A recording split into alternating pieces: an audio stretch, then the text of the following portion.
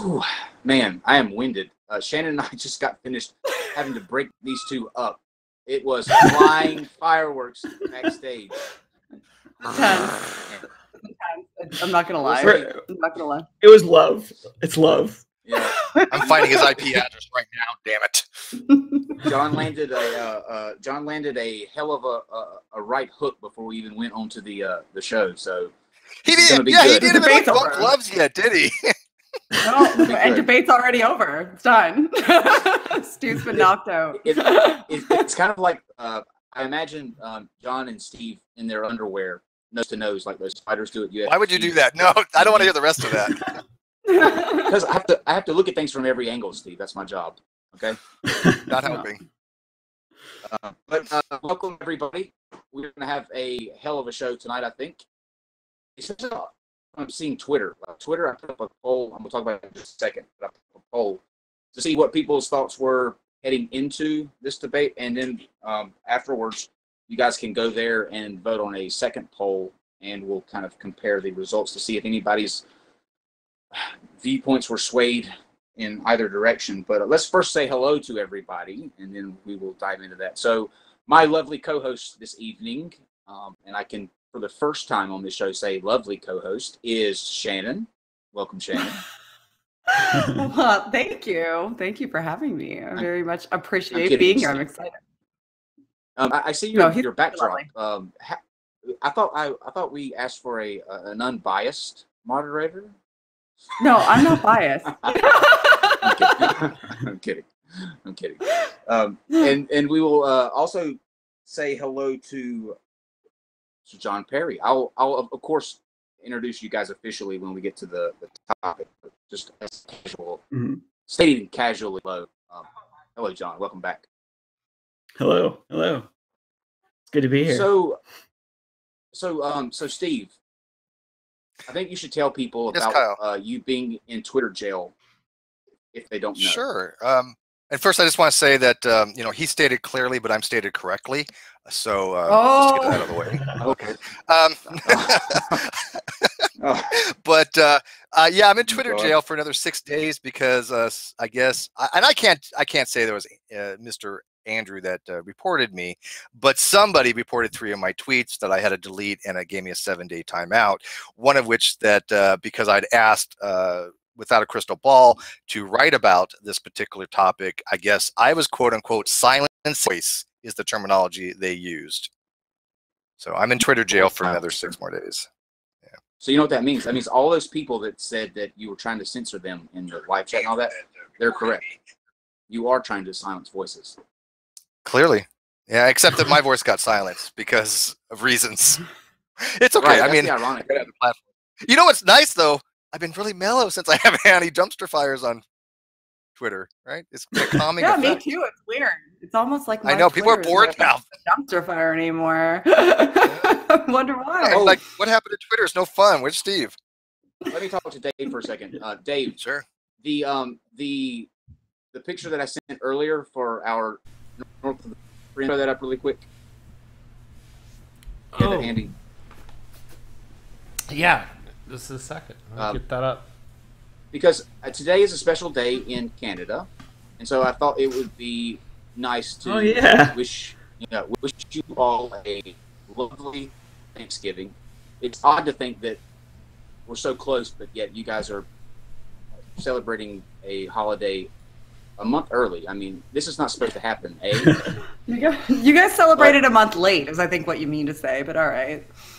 is it just like uh, down here, Shannon? Like you do the, the, the big dinners and, and lunch, and then everybody go and run over everybody in shopping. It's over. There's not as much running over each other to go shopping because everything's closed today. Uh, Ah. But we all have a big dinner and watch football. The CFL has a bunch of big games going on today. So, Cool. you know, we have a football Alright. league, right? we have our own. No. We eat turkey Uh, and ham and You can take that, Dave. Um, I, I imagine Canadian football to be like a bunch of time they bump into each other, going, "Oops, sorry, oops, sorry, oops, Yeah. sorry." we only play touch football. Actually, it's like it's like flag Okay. football. Like we, we won't hit each other, and even still, we say sorry. That's Okay, so uh, uh, I just have a couple of uh, announcements, and then we will jump into the topic tonight. Uh, tomorrow or Wednesday, we have uh, Imras, who is the feminist next door, coming back onto the show, and she will be in a. I'm not, I'm not even sure if I can call it a debate because it will be intended as a debate, but I think it will quickly turn into a hellacious dumpster fire. Terrence Popp is a uh, a, a MGTOW. He is a man that is going his own way, and so uh, the feminists will meet the the as far to the other end of the spectrum as you can, and we'll see what happens. Um, Thursday we will be doing debate roulette. If you guys are interested in being a part or coming on and debating the topic, what we do is we put a bunch of random and we and you vote based on how you uh, based on the topic, whether you agree with the topic or disagree with the topic, and then two people are chosen at random. You come in and you have uh, a 10 minute discussion. So it's kind of like debate on. So if you're interested in doing that, join in the Discord. I'm still waiting on my debate roulette dumpster fire. That has not happened yet. We've done nine of them, and, and all of them have been fantastic. So, uh, actually, honestly, and Steve can back me up on this. Some of them have- have been better than the actual planned debates that we've hosted on here.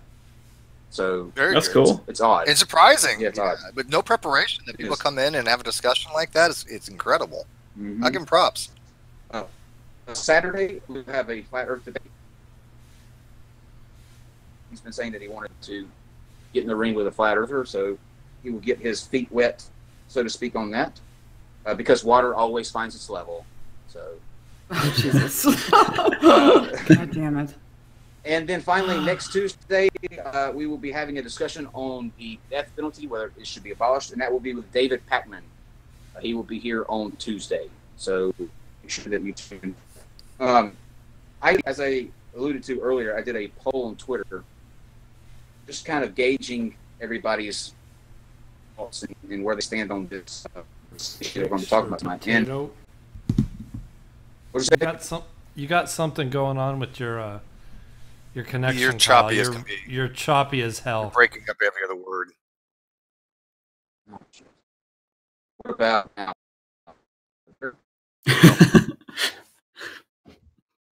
No, You- You still were. One second. Bear with me. Okay, better now. think so. We can try. Go. Good. Good. Okay, so on the results for the poll that were put up. Nope. Nope. Still bad. I tell you what, uh, Steve, People are lo- why Uh, he's doing that. Why he's fixing that? You can look at my cup. People are amazed by my cup. I don't know why. I do. It. I have the same cup all the time. I drink coffee from. This is my coffee. Actually, I have more than one of these. I've like, like three. Um, it's just like It's magic. green, I assume, or blue. Yeah, it's, it's green. Magic. This is I made I make a cup of co- a pot of coffee has four cups in it, right?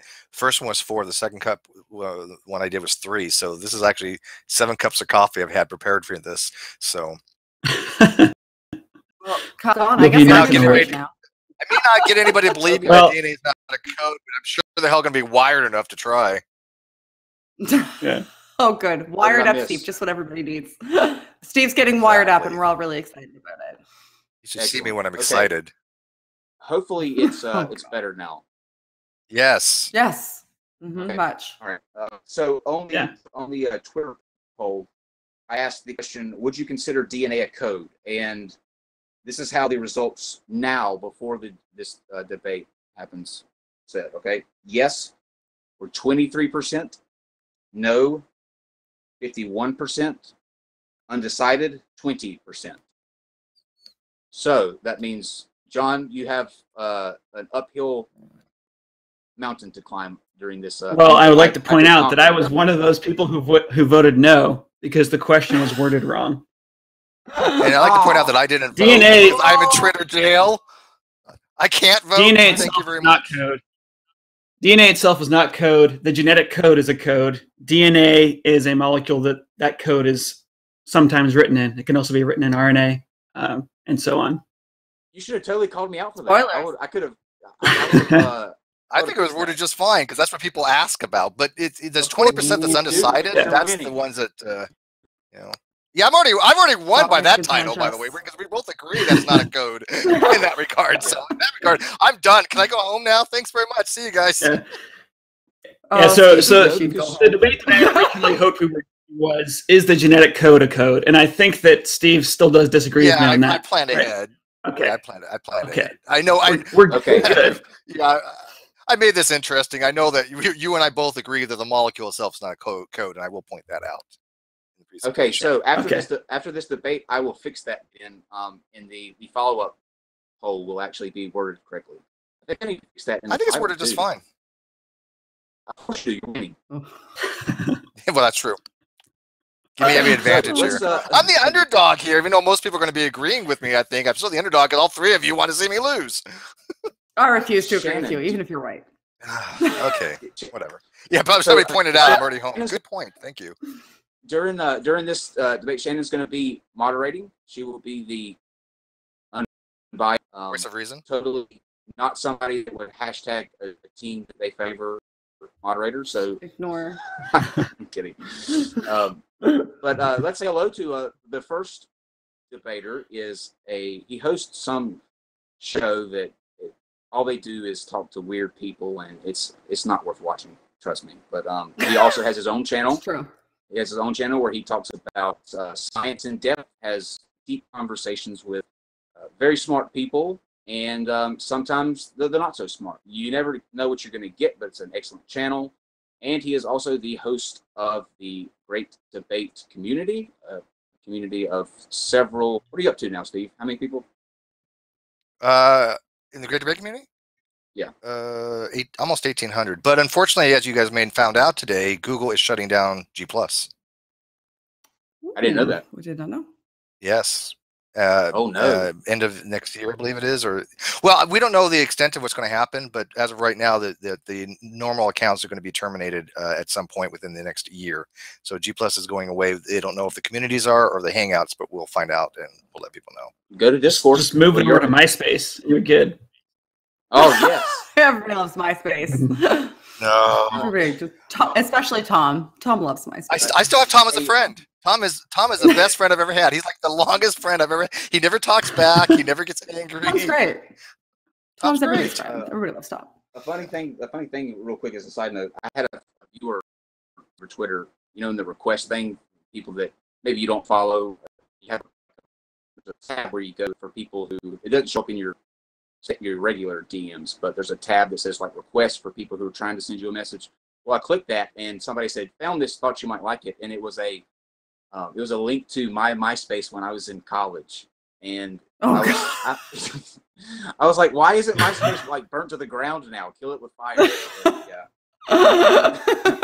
Um, Nuke it awesome. space. The next, uh, the next gentleman with us uh, runs a fantastic science channel and a channel that is uh, more casual. It's the perfectly named, uh, stated casually. But uh, he also has stated clearly, which dives into science related uh, topics and explains them in a way that is easy to understand and follow. And um, I have been a huge fan for a long time, even long before he came on um, to do a presentation with, also with Shannon, on um, replacing, uh, or had to do with replacing Darwin, where we went into um, some of the things that that book had. Um, it's a pleasure having here. He's also uh, he worked for the Center of the uh, Chemical Evolution, a NASA-funded research group focused on understanding the origin of life. The study, among other things, issues studies among other things surrounds the origin of the genetic code, which we will be talking about um, tonight. But a fantastic guy, s- excellent uh, science communicator, and it's a pleasure to have him, Jon Perry. Welcome, sir. Thank you. Wow, Thank he you. gets all that, and I get, hey, it's Steve. You're like my, you're like my, my. Hey, I've been a big uh, fan. I've been a fan of Jon's too, so I, I I've watched his videos, and I'm a huge fan as well. So You're like my husband, though. You know what I'm saying? And like we go places, it's like you're Steve, and you're like everybody's you know what I'm husband. Like everybody wants to marry you. Every woman, every guy, every everybody. It's like Kyle's my husband. It's like Not polyamory to the nth degree. the person that called me a gnome, a, a discount garden gnome, Yeah, fuck him. to marry me. Yeah. So That was okay, me. Shannon. Discount garden gnome. Shannon, I'm I'm handing the flo- the reins to you, uh, and we will kick it off. All right. Well, I expect a fair fight. Nobody talk over each other. Okay, we both know that both of you have presentations this evening, and we agreed beforehand that Steve was going to go first. So we are going to start the presentation portion. So everybody will have a moment or, or the time that they require to go through their presentation, and then we're going to have some just free form discussion. Does that sound agreeable to both of you? Sounds good. All right. Okay. All right. Dave, do you mind transitioning the screen and putting on Steve's presentation, please? And thank you.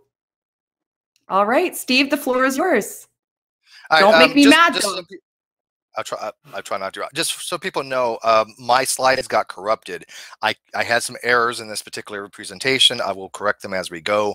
Um, but unfortunately, this was a PDF file that I had saved, and it's the only copy I have left. So I have to use this particular copy. So there are some mistakes, but I'll go through them. And so, um, getting into this discussion, I wanted to have some object uh, objectives at first, and and to clarify that both Jon and I have talked about this for a long time over the last couple weeks, and we both agree that the question DNA is a code is formed because the DNA molecule we both agree is not a code. I, I think, but there are people out there that think it is. So I think it's it's a valid question to them, them, but to Jon and I, like, no, it's not a code. Oh, so anyways, our objectives: um, explain the very basics of the central dogma of biology, which is the DNA to mRNA to proteins, which Jon is going to do as well. Um, I think we're going to have exactly the same presentation as far as that. Um, I want to show that DNA itself is not a code, especially a true code, but a macromolecule that show, shows stores biological information, and that the, there's a difference between a code and a cipher. And skip the next slide because that was an error, and then go right to the next one. There we go. Thank you. Um, my arguments will be basically that DNA itself is not a code; it's a macromolecule. Which, again, I can't change that, but we agreed that it's not. So that one's kind of uh, no longer applicable. But the genetic code is a misnomer, and that is an analogy for heuristic approach to understanding concepts. Um, it is more aptly akin to a cipher than a code. And I'll be explaining the differences between a code and a cipher and why it, it tends to be more of a cipher than a code, uh, but it's kind of pseudo of both depending on how you use the terminology, whether you're coming from cryptography or you're coming from information theory or um, whatever from biology these the words mean different things to different people and I've, I've talked to many different people and special you know specialists and experts in one field say it is other ones say it's not so i think it depends on what your area of expertise is next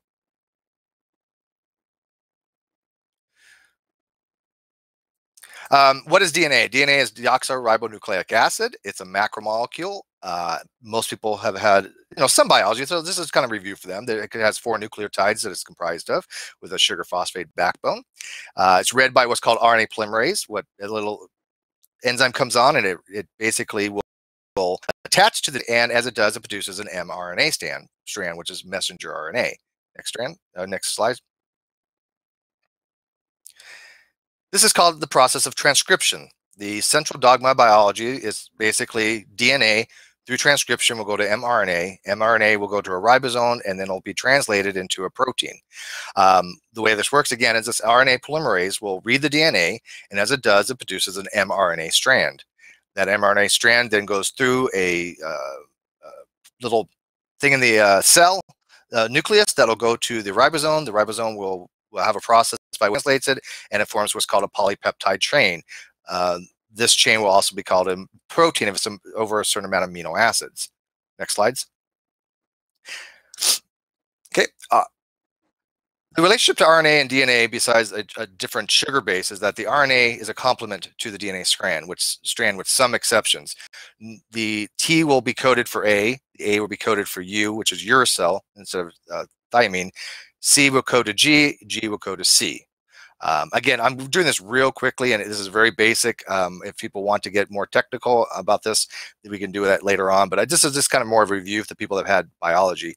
Um, the three RNA base pairs translates into a specific amino acid. This is called a nucleotide triplet. So each of those three things, like AUG, will code for a specific thing. Um, and that will look at a chart and see what they will code for. And I'm using that code in this particular case as an analogy because that's just how we, we communicate a concept. Next slide.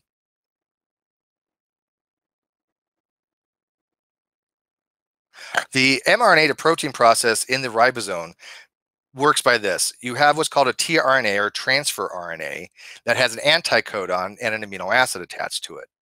The specific three letters will code for a very specific amino acid. And as that chain that you see at the very top grows, it's a growing peptide chain, each amino acid will be added one by one. Um, the proteins will be comprised of either one peptide chain or multiple peptide chains. And a peptide chain is really just a group of amino acids that's been put together through peptide bonds. Next. Um, the way that the tRNA codes for this, excuse me, what, um, and I was going to change this, so this is one of the mistakes I made. It's not really TNA is encoded for, is that tRNA is produced through a non-coding process because it's part of non-coding RNA. So way this basically works, people have asked me before, why why do we have a very specific tRNA with a very specific code on, uh, excuse me, a, uh, nuclear amino acid on it? And the reason being is because you have this enzyme kind of amino, called aminoacyl tRNA synthase. This particular one is specific for methionine. What happens is you have a tRNA for methionine uh, that will fit exactly in that enzyme. You have the methionine amino acid that goes on the top, and then ATP, which is the energy molecule, used to fuse them together, and that produces AMP, which is a, a, uh, uh, a, a uh, adenosine monophosphate plus two uh, phosphate atoms. So it breaks apart a bond that releases energy, and it charges that tRNA. So now it's tRNA met, and that that's what it'll take out of the the cell nucleus to, to put in the ribosome to cause that chain because all these things are floating around. So I'll pull that one out, and that's what I'll bond to it based upon the codon. Next. So this is not uh, this is not an RNA synthesis chart. This was a mistake that I made. I don't know why I called it the RNA synthesis chart. It's not. It's just a codon ch chart. So the way this works is pretty simple. There are three letters in the triplet. If the first letter is U, you go to the, you go to the, the first thing. If it's um, A is the next one, or the second letter, which is the column, and then you look at the row for the third letter. And if you notice on here, certain things will only code for one particular amino acid. If you look at UGG, that'll only code for tryptophan. However, things like proline will be will be many different things will code for it. CC, anything. CCC, CCA, CCG, CCU. Those are all code for proline. That's called third base wobble. And that's going to be critical to why this is not a code. And yes, I know that I'm going through this very quickly because I want to get to the code portion because I think that's what the main just. I, I, think so far everything Jon's going to agree with me on. Did I, Jon? Real quick, is there anything that I that you want to touch on real quick that just on the uh, the biology stuff? Uh, no, agree so far. No. Okay. I mean, th this chart here, this set of rules is what people typically call the genetic code. But okay, awesome. All right. So, what is a code? A code is usually a cryptic substitution system that's decided on two or more people called the sender and receiver. Codes are secondary symbols that represent a primary symbol. For example, the car is fast. Car could stand for, quote, nuclear weapon, and fast, quote, for ready for launch. This way, if a third party intercepted that coded message, they would need what's called a code book to understand what the secondary symbols represent. So in this particular case, a true code is a one-to-one -one correspondence. If you have a word, you have something else that it represents, you have a separate symbol. So that symbol of nuclear weapon, right, think of it as one object represents the one object car. So if people would, excuse me, the other way around, the, the car would represent the nuclear weapon. So we had an enemy, right, that intercepted this message and they got the, the message car is uh, fast, they wouldn't know what it means unless they had the code book to translate that it was car represents nuclear weapon and fast means ready to launch. That's what is a true code. So the symbol is what is the code. And uh, next slide. Oh, oh I'm sorry. Um, am I one code? Am I one slide ahead? Because I forgot to tell you to. There you go. Um, the genetic code um, if we assign primary symbols to the nucleotides in the DNA by labeling them, right? If I if I tell somebody ahead of time, if I want adenine, thymine, cytosine, and guanine to rep be represented by a secondary system, a, a, secondary code, then I will say A, T, C, and G is the code. That is the represents those specific nucleotides. Those are arbitrary. I could be any use anything, right? I pick anything I want, but it just so happens that I think the first letters very basic way to code for those particular nucleotides. So that, that seems trivial to me. I don't think that's what really is implied when somebody says DNA is a code. Because I do agree that A, T, C, and G, those symbols are a code because they're secondary symbols representing the primary symbols, the secondary being A, T, C, and G, the primary being adenine, thymine, cytosine, and guanine, and the, and the words themselves, not just the, the ontological, meaning the in existence, nucleotides in the DNA. Next. Um, the word code is polysemous, meaning it has multiple different meanings. And that's one of the, the problems when people say, is DNA code? It really means, what do you mean by code? If, what uh, are you looking at it from, a, obviously, is it a program language? Well, no, DNA is not a program language. But they use the word code and, pro, code and programming language. And the reason why is because in a programming language, you have some instruction that is the secondary symbol that executes something by representing a primary symbol or string. For example, J and Z in assembly language means jump short if not zero. There's, you have different flags in a computer, people may know. One of them is called the, the zero flag. If that happens to be zero, then you'll jump to some other memory location or some other part of the code. And J and Z is, is a code because it's, it's coded by somebody that's performed a specific action to jump if not zero if a condition is met. That is, that is a programming language or code. Next. So what is a cipher though? Well, a cipher works on a little bit different principle. Cipher works generally, uh, you, you encrypt or decrypt by use of an algorithm. Not always, not necessarily. It, again, it depends on what you mean by cipher. But unlike the need for a code book where you have a word or phrase representing another word, ciphers work on a more bit by bit system. It works on one letter at a time. And it can be easily deciphered if you know the algorithm. For example, if I wanted to decipher a phrase, the nuclear weapon is ready to launch, I could use a Caesar shift by shifting each letter one to the right on the alphabet, resulting in, well, what you see there, because I'm not going to be able to pronounce it. But that would be a cipher because all I have to do to know how to decipher that is know how it was originally ciphered and used as deciphering algorithm, which would case in this case be shift it one to the left. Next slide. So in order to decipher that string, I, I, just have to know the deciphering algorithm, which is called the key of the cipher of the Caesar shift. In this case, be one letter to the left to get back to the original encrypted message. I could do that with any kind of encryption. As long as I have the key, I could decipher the original message. And a fun fact is there's something called a Vernam cipher, which is unbreakable so long as you know the rules of the cipher are followed. They're called a one-time pad based upon Shannon's communication theory of secrecy systems, which I think Jon's going to get into a little bit, which is one of the reasons I mentioned it here. Next. So why isn't DNA code? Well, obviously we've already established DNA as a macromolecule. So when they say DNA is a code, that as itself is clearly a not true statement. DNA itself as the molecule is not a, a, code. But I think Jon and I both realize that that's not really the question at hand. Because um, uh, he agrees, saying DNA mind, is a code is sure. Yep. Do you mind if I explain uh, why is why DNA itself is not a code? Just real quick. Absolutely, um, go for it. The so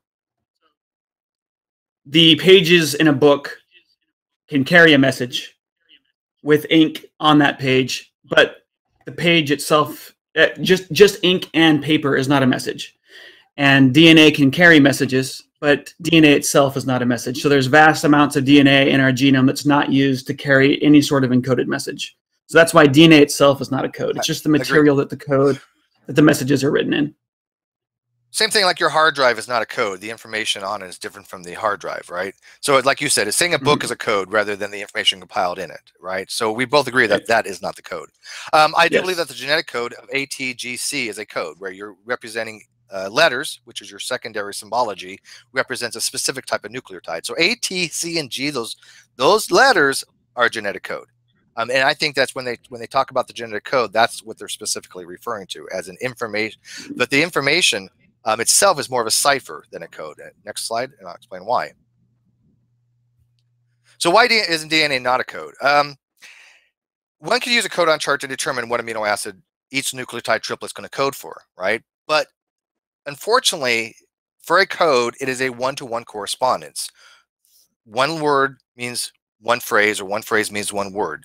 Um, unfortunately, because of biology, certain um, other uh, things like prokaryotes won't exactly code for an amino acid for the same triplet. Like for example, in, in eukaryotes, AAA will code for lysine, right? But in other things, it may not be lysine. And GAU for aspartate, I think in prokaryotes, um, it, it I don't remember what it coded for, but they, they don't code for the exact same thing. So you can't say that the, the, the three letters are a one-to-one -one correspondence because it depends on what codon chart you're using for different species. Prokaryote would have a little bit different, especially for the start and stop codon. For methionine is the start codon, which it tells where to start the transcription. That is different from species as well. Next slide. Um, why why isn't a triplet a code? Because some people say that the three letters is a code. Well, no, that's more of a cipher because again, it's it's representing individual um, letters to represent one particular amino acid. Um, the RNA codon chart is degenerate, and again, I don't know why I called it, called it the RNA codon chart. Scratch that. It's this the codon chart um, is degenerate, meaning that more than one triplet can encode for amino acid. Because again, third base wobble. There's a redundancy in it, and and with a code, you can't have redundancy you have to have a one-to-one -one correspondence to have a code because if you have a code book then you, you need to know what word is representing or what phrase is representing something else and if you have multiple possibilities then you're not communicating to the person you're trying to communicate the code to what your message is so it has to be one-to-one so in that regards because it's not universal it cannot be a code uh, yeah, here we go. So yeah, so I knew I found it somewhere. Uh, it's AA in humans codes for lysine, but in in uh, uh, and other species like starfish, it'll code for asparagine. So that is not a one-to-one correspondence in echinoderms. Next, almost done. Um, I want to touch a little bit on Shannon information, only for the fact that I think this is going to be where Jon's coming from. He's going to be coming from communication theory, and Shannon was the one that kind of came came along and said, okay, what does it mean to have entropy, uh, excuse me, information in a system based upon the entropy of the system? So the way it works is this, in a very succinct nutshell.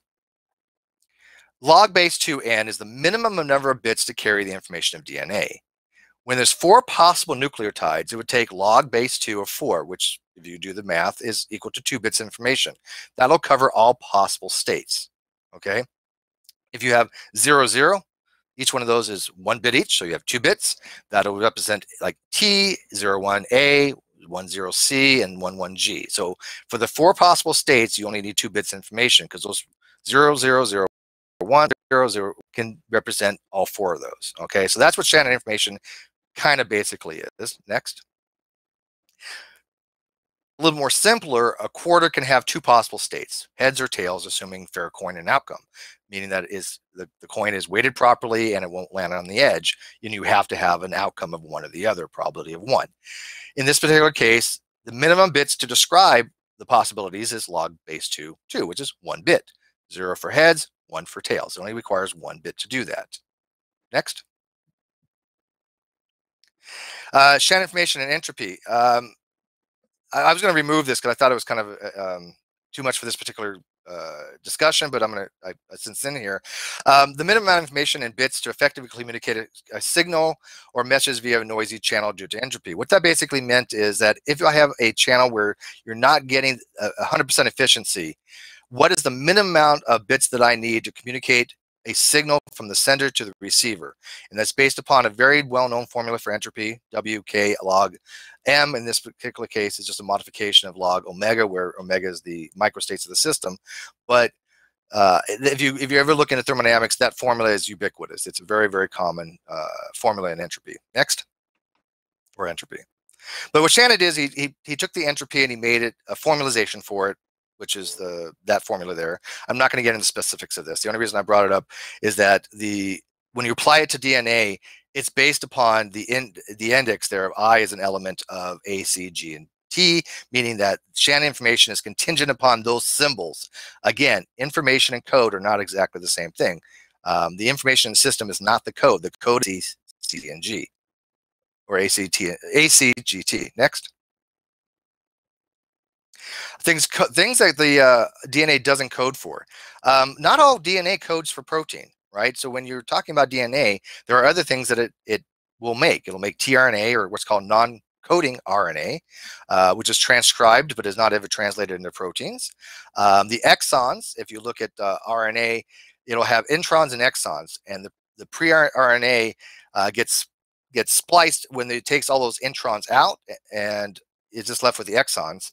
Um, yeah, I should. I had that backwards, by the way. That was another mistake that I made that I wanted to correct. Um, it, it keeps the ex, exons, it, it splices out the introns.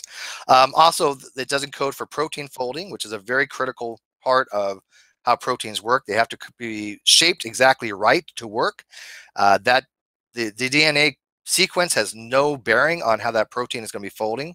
Um, it's based on, on conformational changes due to charges uh, from the amino acid residues, it's called.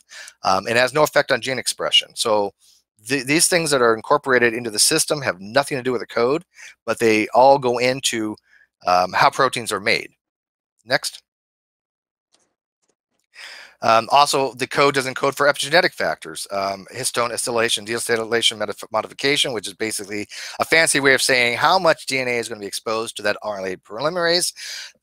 Those little protein things, those little round things, DNA goes around those. And if it's really tightly wrapped, the RNA polymerase can't get to it right? It has to be kind of loosely wrapped. And if it's re they're really close together, the polymerase can't get in between them. So what histone uh, modification does is kind of separate those histones, allowing the RNA polymerase to reach the DNA easier. That's not coded, that's not quote unquote coded by those sequences in the DNA. Next. Additional thoughts on DNA not being a code. Um, co this is, and I think this is a real big one. Um, Codes require portability from one medium to another. Uh, DNA contains information, but nothing that can be detached and transferred to some other medium, like raised bumps, such as braille or magnetic tape. So if I said, I want to take the code off RNA, uh, uh DNA, it's not portable. It doesn't translate into braille because the braille, all that can represent is the A, D, C, and G, which is the code. This is the same problem you have with Morse code. Morse code is not a code. Morse code is a cipher. This is the same thing with binary. Binary is not a true co code in that regard. Um, matter of fact, uh, if you actually go look at Morse code, they actually call it Morse cipher in a lot of places because it is more technically a cipher than a code. Um, what is transferred to RNA and proteins by means of the central dogma biology is merely chemical and physical structure by which the laws of chemistry by psychophysical or psychochemical conformational changes. So what that basically implies is that the only thing that's really being eh, ported over from the DNA to the protein is how to put those amino acids together, right, to form the protein. There's no code in that actual system. There's no code in there, information. Next. Okay, can I just ask a quick question here? This is my last one, by the way. Yeah, go ahead. Oh, if binary code is not a code and uh, Morse code is not a code, then what are some examples of code according to you? Uh, I the, the, having a code book, for example. Like for example, you can have a code book. You can have a code book for binary code. Yeah, I mean, there's code. Well, we'll get in. Let me finish. Let me finish up. Okay, yeah. okay. But okay. I, I, I, but yeah, Morse, Morse code is technically more correct than cipher. Jon, you're going to get your turn. I thought I was going to have to yell at Steve, but Jon. this is so good.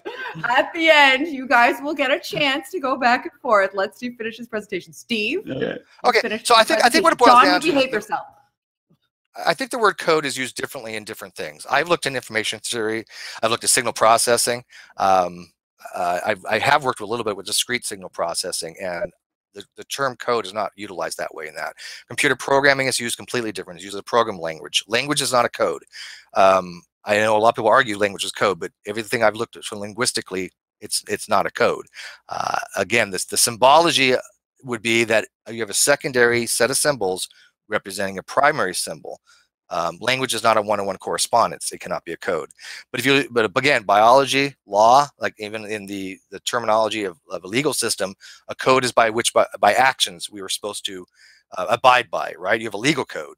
That's not a, a code by which I think Jon would agree that we're talking about. So even in biology, legal, cryptography, the word code has multiple different meanings. I'm arguing from the most strictest, which is called sensu strictissimo position that DNA is not a code. Sensu lato, which is a very broad definition, people can call it a code, but I still think it's much more of an analogy than a true code. And Um, I just want to uh, end with Dave. I sent you a, a something that I can't screen share. Can you can you do it real quick? And while he's waiting on that, let me make an announcement real, real quick uh, to you guys. Uh, if you watched the show last night, where we had the guy that came on to talk about the, the 1080 poison that's going on in New, um, New Zealand, uh, if you remember, in the middle of the interview, or when we were kind of wrapping up, his wife broke into the interview and said that the police were at the door and they had come to take his guns and his uh, gun license.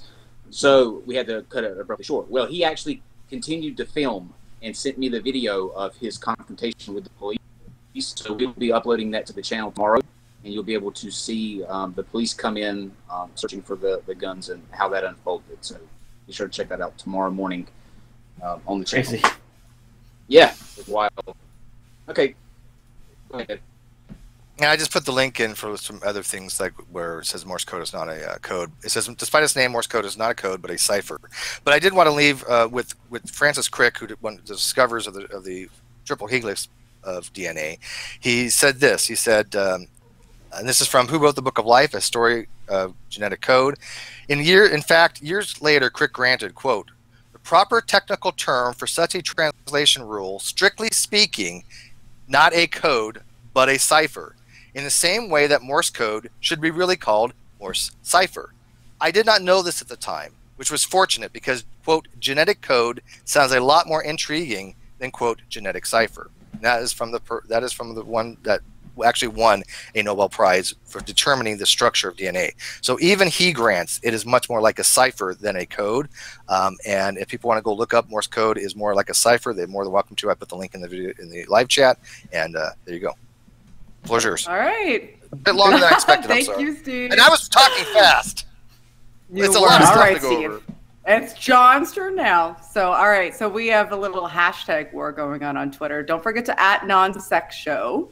So we have hashtag Team Steve and hashtag Team Jon. So now it is going to be Jon's turn. I'm just saying. All right. I'm, I'm, I'm hashtag Team John. All right. So Dave, do you mind putting up Jon's presentation? Uh, thank you. So I've got a lot of All spots right. in here for questions, and uh, I'm happy to have Steve ask questions during that time, or people who are writing in to uh, ask questions during that time. So if we get super chats or whatever, I've got lots of spots in this for that. But so again, the question that I, I was really hoping we were going to ask here is: Is the genetic code a real code? Because uh, you know, as Steve and I both agree, DNA itself is not. It's just a molecule that the code is written in this uh, this little box here on the screen this codon chart this is the set of rules that govern the genetic code and uh, if we can go to the next slide here. We'll get a we'll get a quote from good old richard dawkins. He wrote a book called uh, the a river out of eden. And in this he says after watson and crick we know that genes themselves within their minute internal structure are long strings of pure digital information. What is more, they are truly digital in the full and strong sense of computers and compact disks, not in the weak sense of the nervous system. The genetic code is not a binary code, as in computers, nor an eight level code, as in some telephone systems, but a quaternary code with four symbols. The machine code of the genes is uncannily computer like. Apart from differences in jargon, the pages of a molecular biology journal might be interchanged with those of a computer engineering journal. So, according to code, uh, people who study computers, things like binary code, the genetic code is a real code. And if we go to the next slide, this here is the reason that there are so many people today, I think, that are upset calling the genetic code a real code. And it's because there is this argument that comes from creationists. It says that the genetic code is a real code. All codes that we know of were intelligently designed. Uh, binary code was, for example. Morse code was, for example. Therefore, they conclude the genetic code was intelligently designed. Next slide. So, you know, this is that's a syllogism, and the syllogism is I mean, the, the conclusion does follow the, the two premises. So they've, they've correctly written a syllogism, but one of their premises is wrong. And that's why their conclusion is also wrong. And a lot of atheists I've noticed online lately have been assuming that premises one is wrong. The syllogism is, I mean,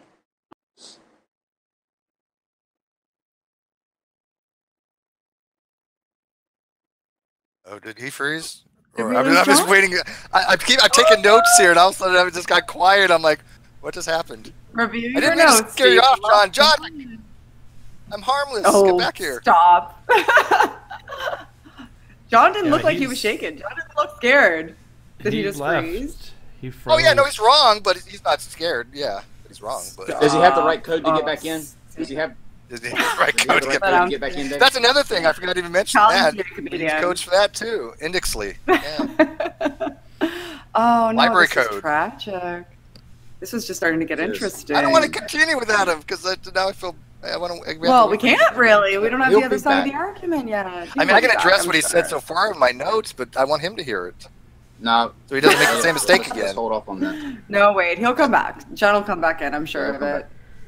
Um, Oh. uh, we can. We, I bet he's still. Somebody says I bet he's still talking. He may Uh, well might- be. yeah, actually, I'll message him. You him. may not realize he. I'll message him. Yeah. Carl, you go ahead. Uh, well, I was just going to say uh, the uh, the voting guys for the the Golden Nuns, which is a award show that we're going to be having on November the 25th, is still going on. Uh, there's two more weeks left. You can go to uh, tinyurl.com slash golden nuns or just click the link in the description and go and vote for your uh, favorite content creators. There's two different sections, one that's YouTube wide and then one that is just specifically for our show you can vote for. Uh, the YouTube wide one you can fill in, so it can be open to anybody. And then um, you just click the uh, the multiple choice on the non sequitur versions of the um, the, uh, the show. I looked at some of the results. Um, as much as we appreciate it and and love you guys, um, there for about four days we were winning the, the channel of the year. We cannot uh, we, we cannot be in the running, but we do appreciate uh, you That's uh, sweet. putting us out there like that. Yeah, it is. Um, but once again, the uh, it's in the description, so click that, and um, also our Discord. If you're not a member of our Discord, that's where a lot of these conversations continue on past uh, after the show ends. You can come uh, check that out. There's a daily topic now that um, uh, Shadow does a good job of running, so um, check that out. Go be part of this. Go watch the dumpster fires sometimes that happen. And um, can we talk about something while we still wait? Um, I, there's a new there's a thing out there that I didn't know existed, and that's the people that get angry when you when you ping them too many times on Discord. Um, I've had this conversation. I've had this conversation. I don't know how many times. There is a there's a there's a certain set of people that every time you you hit the uh, at everyone, they get Oh, really that's a nightmare. And, yeah, that's the I reason I turned off my Discord I, notifications. I, you know what? I just told somebody to do that Thank today you. too, just to piss off the admins. Thank admins. you. I, I told somebody And just then, today. uh, okay, I'll tell you Add what to do. Turn off your Discord notifications. Check your Discord a couple times a day. When you go to the at filter, so the at everyone's are I'm out, back. And then you're done. Yay, oh, he's Jon's back. back. Hey, I, I told you guys he didn't run. You guys like, oh, Jon ran. Steve, I'm kidding. Steve. Now, I now I'm back to realizing that it's you that I'm gonna have to wrangle. All right, John, are you good? Are you ready? Yeah, I don't. I don't know what happened. Did I lose internet connection? Is that what happened? Yeah, oh, we don't know. so. You were just Crashed. gone. Okay. You you just All right. you just stopped. All right. All I'm right, taking so notes, you so were- go ahead. Oh, you Okay. were at premise So- of your syllogism. Premise, premise two. Okay, so um, if we go to the next slide, most people, so most people know that the conclusion there is there's something fishy with that conclusion, right? If you know anything about biology, uh, and so they assume that one of the premises must be wrong, and most atheists have been saying that the first premise is wrong. And this is an argument that they've been using. I, I really think that all the people that are upset about calling the genetic code a code are upset because creationists said this to them and they didn't know how to respond. And so they've attacked the genetic code being a true code. go, to the, go to the next slide here. That is wrong. That is that is a mistake. The genetic code really is a code. Next slide. The the real issue is that uh, their second premise is false. When they say that all codes that we know of were intelligently designed, that's where the error really is. And I'm going to go in today and um, talk a little bit about how it is that codes evolve, how it is that communication systems evolve. We go to the next slide here. Uh, next two slides, actually. But first, it's important to just kind of kind of talk about what a code is in general. So here I've got the the ASCII code. And again, uh, Steve is claiming that the ASCII code is not a code, which doesn't make any sense to me because this is what everybody considers to be codes. The ASCII code, the Morse code, and it's what Claude Shannon was studying when he was inventing the coding system for Bell, which he used. He he digitized uh, audio so it could be sent over the phone, and he was he was studying the the uses of digital code that had been had been used in computers before him. So he was looking at ASCII code, binary code. He was looking at Morse code, and he was looking at things like actual languages. So languages are codes. Uh, you can have you can create keys that can cipher act as a cipher for the code. So here we've got you know a really horrible cipher uh, table for English. You've got apple, cry, horse, shoes, plane, and little images that represent those. The really interesting thing to note here is that codes are roughly um, arbitrary. So in, in ASCII binary code, we've got A is represented by 1, 0, 0, 0, 0, 0, 1. But we could have chosen a different set of ones and zeros. And your keyboard communicates with your computer through binary code. When you hit A, on your keyboard, it's sending a series of ones and zeros to your computer. Now, it's not actually sending ones and zeros. One means on, zero means off. So your computer is constantly counting. And when you hit A, it sends a little little uh, jolt of electricity, and then it sends uh, a couple of null packets. So there's just it's it's not doing anything. Then it, then it sends that one again, and your computer is counting that up and it, it reads that as one zero zero zero zero zero one. And it knows ahead of time because it's been programmed to know this that that means a. So it will display an a on your screen. In international morse code uh, these are the dots and dashes that we have decided upon in advance to uh, to use. So a is a dot and a dash. So beep beep. Uh, e is just a dot and so on. And the point of Morse code is to send information through a wire. You can send uh, pulses of electricity through a wire that can be read by a receiver and then decoded back into letters. So the purpose of a code is to encode information in a format that it can be transmitted across some sort of a medium. When we when your your keyboard takes the A button and turns that into ones and zeros, it can then easily transmit that through the wire.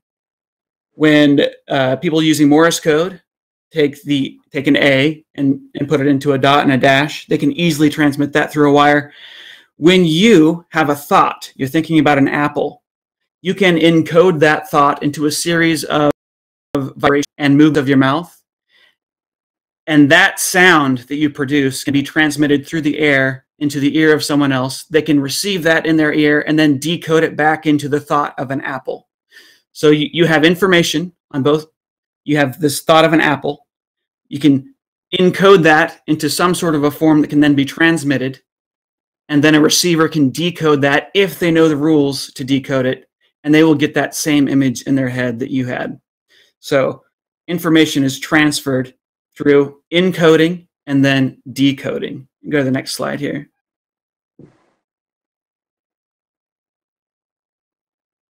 A code is a set of rules governing a communication system. This is how Claude Shannon describes it in his paper. Uh, he uses a lot more words than that, but th this that's how he describes it in his his his one of his most famous papers, which we'll look at here in a second. So the code itself is the set of rules that govern a communication system. And to really understand what that means, we'll have to, we'll have to know what a communication system is, and we'll look at that here in a second. So we see that these charts that we're looking at, these are showing us what the rules are to these different communication systems. We see the ASCII code rules here. We see the Morse code rules here. We see a really short list of English rules here. go to the next slide.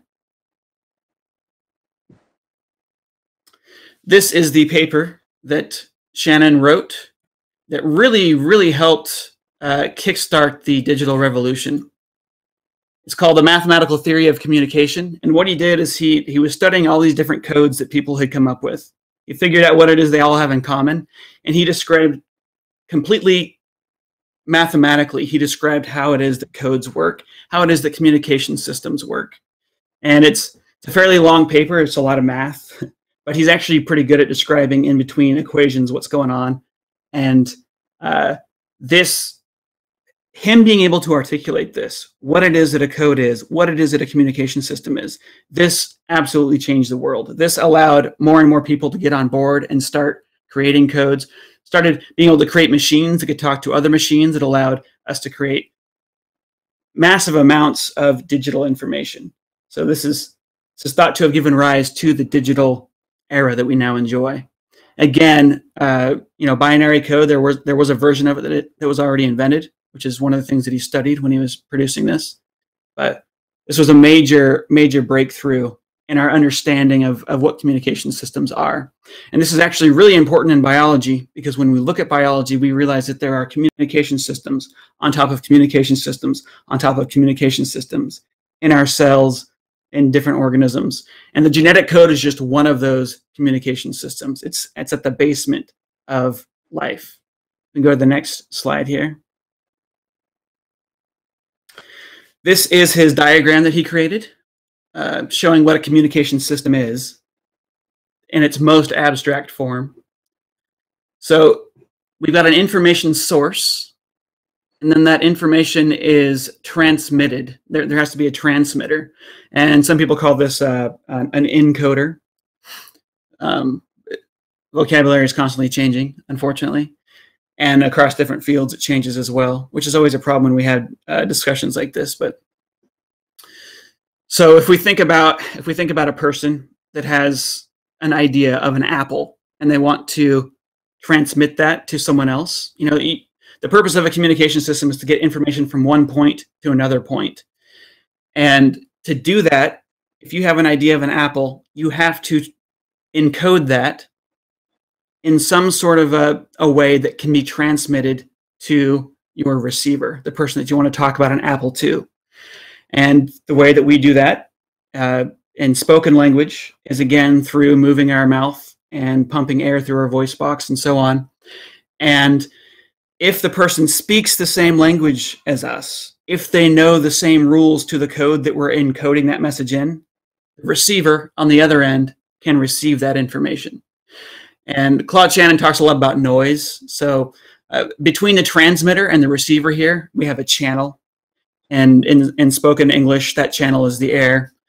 He talks a lot about noise because he was his his big thrust was how to how to avoid noise in the system. You know, if there's noise in a room, you have to be able to communicate through that. If there's a lot of wind or whatever, and there's also noise in a wire that when you're when you're delivering information through a wire. When you're transmitting information through a wire, you have to deal with noise. So he focused a lot on that.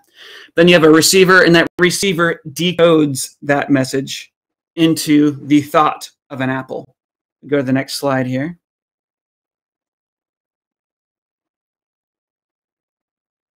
So here's kind of a, a simplified version with, with language that's, that's more common today.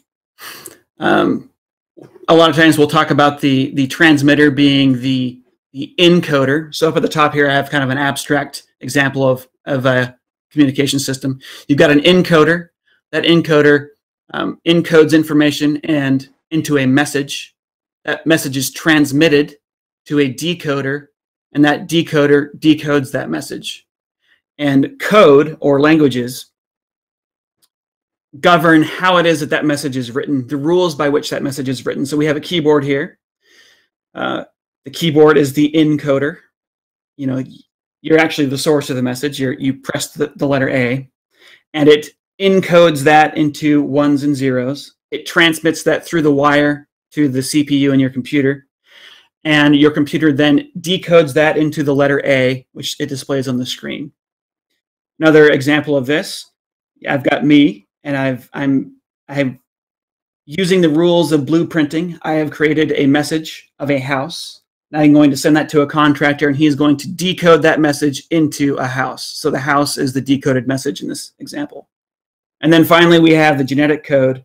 You've got a stretch of DNA that is uh, a message is produced from that DNA is is encoded into RNA.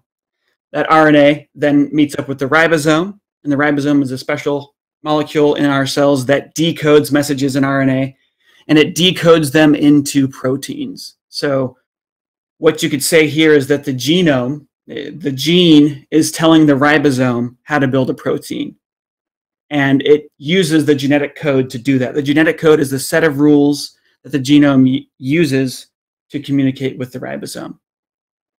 To the next slide here. So, yeah, questions from anyone? Um, I, I, don't have any questions. I, I, mean, I've got reputations for everything you've just said. I've taken notes, but uh, I'm going to wait till you're done with your presentation. Yeah. Are, okay. Are there any live chat questions now, or clarifications? Kyle, did you see any? No, I, because I know what his argument. I mean, I, I, I, don't have any questions. I know what his argument is. That's I don't. I, I there was one that Okay. said that asked if uh, the Nazis enigma, what he considered the Nazis enigma, a cipher or a code. That's a It's the cipher. only one that I've. It's it's one it's one symbol. So um, I mean, it's a symbol that we understand. So it's a Yeah. The, the way that the Enigma machine worked is you had the Enigma machine had to be set up exactly from one specific condition for the wheels. There was trillions of different combinations it had, and so even if the the allies or the enemy or whatever got a hold of this machine, they wouldn't know the initial configuration to do the algorithm because this is what what a cipher is. If you know the algorithm, like that Caesar shift, where you just like say shift one to the left each letter, you know how to decipher it. But that's what the Enigma machine did. But you had to know the initial configuration of it. That was a cipher, not a code. So. Um, still, sorry, what's that? do you, you still have more for your presentation? You still have more? Well, yeah, yeah, I've, I've got I've got quite a bit more, but I I, I guess I want to understand. Um, so you think that what is the difference between um, encryption and coding in your mind? Okay, so well, let me let me let me kind of go through your thing, and and and I'll get to that. Um, so, uh, it, if you're talking about a digital code, it, uh, digital, it is definitely digital, right? Um, it's not an analog component to this. Digital means discrete, so we're talking about the Shannon information of bits, which is like zero zero zero one one zero one one. That's clearly digital. Agreed. Mhm.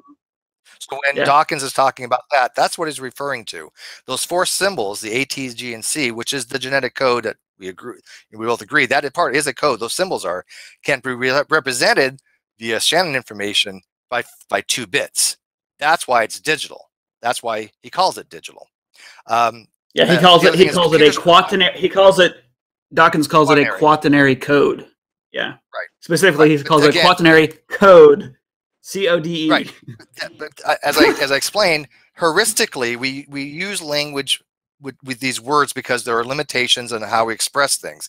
Just because something used a word code does not necessarily, in strict definition, make it a code. It's a way to explain things by use of analogy. I need analogy. to interrupt for a Uh, second for to, to, to get both of you to clarify something for the sake of me Sure. and everybody in the audience. Yeah.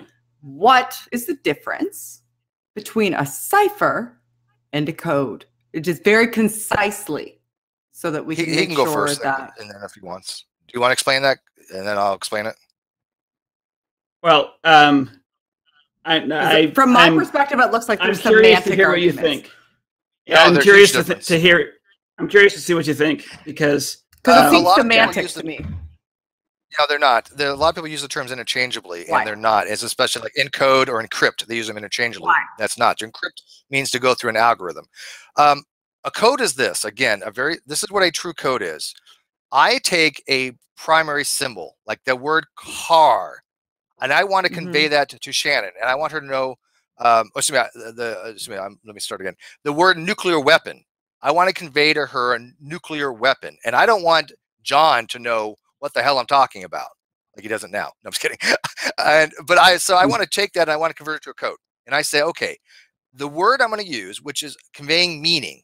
Co- co- codes convey some kind of meaning, like the word car has some kind of meaning, right? Is readable. So It's by your like definition, symbol. are all codes ASCII. linguistic? All codes. all codes are semantically linguistic. Yes, all all codes are, are semantically linguistic. Um, So it's So all I about transmitting an image or some sort of information. So Right, if, the- if something exactly. isn't linguistic, it by your definition can't be a code because codes only exist linguistically. Right, that symbol, that's those three letters, C A R, represent the one symbol, one object that represents nuclear weapon. In order to you to know what the hell I'm talking about, you need that code book that says car equals nuclear weapon. In the days of So it's about telephony, transcription is what they. So it's a. Okay, so it's about transcription from the initial item. You would transcribe that into into something, and then the ob- something else. Right. the, the object is for me to use some sort of cipher in order to be able to enter into my cognition that No. that's what that, that that's what you're trying to transmit No, to you don't I use the cipher. You don't use the cipher. so i you need a code book. so For example, example, I- I- de- I'll give you an example, sort of Give you an example. Right. See, I mean, this is I'll why give you an example. so semantic. So, but if it's But- but only it's not. linguistic, it's not. But let me give you an example. Why not? If I if I want if I wanted to if I back in the day it cost money to send things through telephony. It was very costly, right? And so Mhm. instead of having a long sentence that meant something, if I want they used uh, in, uh, in accounting they would say like you you know bounce the books for this this whatever, okay? Instead of writing out I the books for they would have yeah uh, they would have one word and that one word would be like quaternary and i think quaternary was one of the words they used in the code book. So if the receiver had that word quaternary they knew what it meant to be like in the exact phrase. It's a way of shortening it down. That's what a code Okay. is okay? A cipher is uh different. A cipher again is a one-to-one cor- uh, uh, excuse me, a bit correspondence to one letter to one thing. For example uh car if i if i shift those one to the left i'll end up with d b S, right? So that's that's a, a, a encry- ciphering, right? And if I want to decipher it, I just have to know the algorithm, and the algorithm is shift each letter to the left. I don't need a code book. I just have to know the algorithm, the key it's called. That's the huge difference. A code book is is So- very big, but an algorithm and cipher is just what is it? Shift to the left. So the me- the difference is the method of encoding and the method of decryption. Correct. Yeah, So word, Yeah, coding it's- is usually it's the same thing. a word, word a word level. to me, that seems semantic. ciphering is individual letter. That's there's a huge difference Yeah. there. If I want to encode something, I'm going to code There's a word. Actually, not. If. I want to cipher, I cipher each letter at a time. All right. All right. Okay. Jon? Uh, thank you for that clarification. Jon, go ahead. I'm sorry. I'm going to mute myself. Yeah. I just wanted, for the sake of my sanity and everybody in the chats, I just needed to get And- that and I out of the I way. wanna- I want to clarify one other point. Because I'm using that for code, it actually does work as well for cipher. Cipher is in, in some ways linguistically as well. The problem is is that neither one of these, by all definitions, are either a code or a cipher. They're pseudocode, pseudocipher. Um, it really depends again what definitions you want to use for these things. So in any true form, it's not even DNA is not even a true cipher in that regard either. Um, but it's close enough. Uh, in my, I think it's more closer to a cipher than a code. All right. So Steve, you're how about saying- you? Jon, saying- Jon? presentation. Jon, Ask, ask that- we're that- going over Jon. Ask- going over ASCII is a Jon. Saying the genetic code. You're saying the genetic code is a cipher, not a code, and that binary code is a cipher, not a code, and that Morse code is a cipher, not a code. Yes, and ASCII is a cipher Okay. as well. So all the things that commu- computer scientists call uh, codes, they're wrong. It, it- it's, just stuck. It's, it's just a term that's stuck. It's one of those. Okay. There's a lot of things in science that people st- had bad terminology that just stuck. We call it the Big Bang. It's not a bang, Right. right? So, Uh, so the people that invented code were wrong for calling it code. No. The people that Well, invented again, and named it originally were wrong until you came here and corrected them. You. This is validatable. Anybody can go validate on Google. We have something called Google now. Go look it up. Morse code ASCII, not a code. Go, go look at Morse code. I have I have I have different pages of Morse code. They call it a, a cipher, and it and they some of them call it the Morse code cipher. So there is re um, there is evidence for this. I'm not just like pulling this out of my you know Keister here. So but but uh, I want to address I want to address his uh, syllogism. Keister doesn't mean. Keister, Steve. Keister doesn't mean se- Keister. All right. It Um, uh, but we're- listen, hold on, We're, we're, we're gonna go. But- We're gonna go to Jon because because he hasn't uh, he hasn't been on his. Sure. Uh, He hasn't So- for a while. But I So- do have other things I, I want to okay. address for them. So the most important Okay. thing with with understanding is, and I, again, the only reason that people think that genetic code is not a code, except for you, who are you are a special case, the only person in the world that doesn't accept codes as being codes. Aside from Uh, that, with- there, wait on, yeah, Dave, aside from that that, rhetorical. That was rhetorical. Hold on. We're, we're going to let you respond. Go ahead, Jon. You'll get a chance to. I can't mute Aside- Steve for the record. Aside, aside from aside from Steve not accepting the definitions of computer science and Claude Shannon, um, you know, if if we look at the people who invented these codes, they call them codes, um, and they have since the start. All of these codes, uh, the reason that the reason that many atheists have an issue with with this is because of this creationist argument. For some reason, atheists think that because creationists make an argument, we should throw away our language and stop calling the genetic code a code. I do not agree with this. The again, the, the actual issue with that creationist argument is the second uh, claim that they make, their second premise, when they say that all codes that we know of were intelligently designed. That is false. It is true that, that the genetic code is a code, but it's not true that all codes are intelligently designed. And so, if we go to the next slide, we're going to look at some codes that have evolved. Uh, there is a field of biology called signaling theory of evolutionary biology, uh, which studies the evolution of communication systems. And it turns out that every time you get symbiosis to evolve between two organisms, you also get the evolution of a new communication system. So here on the left, I've got we've got a goby and a shrimp. This is a pistol shrimp. I don't know if you know the story about these guys, but the the shrimp is really good at digging, but it doesn't have very good eyesight. And they'll team up with a goby. They'll they'll dig in this nice burrow. They'll live in it together. And when the two go out to get food, they actually eat different foods. The goby mainly eats meat, and the shrimp mainly eats algae. They'll go out looking around for food, and when something dangerous comes by, the the goby will signal by wiggling its tail that there's a danger, and the shrimp and the goby will both go back into their little cave. And there's a there's a lot of complicated communication that's going on between these two organisms. Uh, it's really cool because you can actually get these in your aquarium and you can study it at home. Like they actually sell these at the pet store. It's amazing. Bacteria also have very complex communication systems, uh, which we'll talk about here.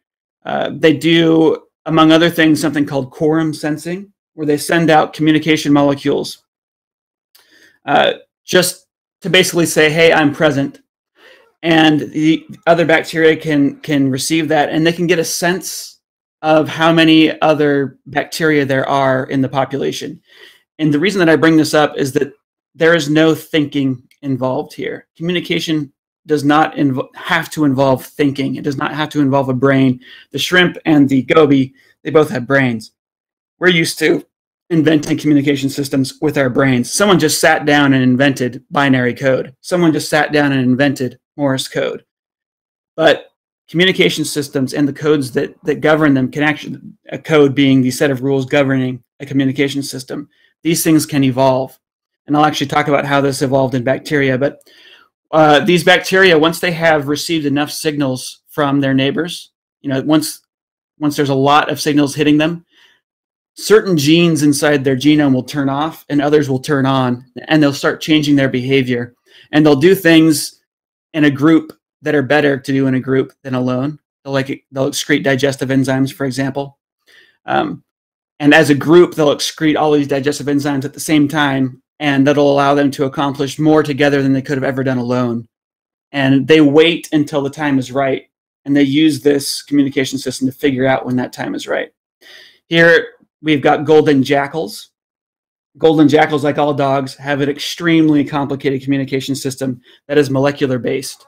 Uh, you seem to be stuck on um, symbols having to be letters or something like that, but symbols can be anything. These dogs are using uh, mo- these dogs are using molecules in their urine to communicate to each other, and they're communicating all sorts of complicated things to each other when they're in heat. Um, uh, uh, if they're in heat, they're communicating whether or not they're actually available.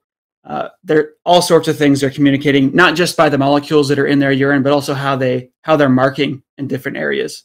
A very complicated communication system that's studied by people who are studying the evolution of codes and communication in biology.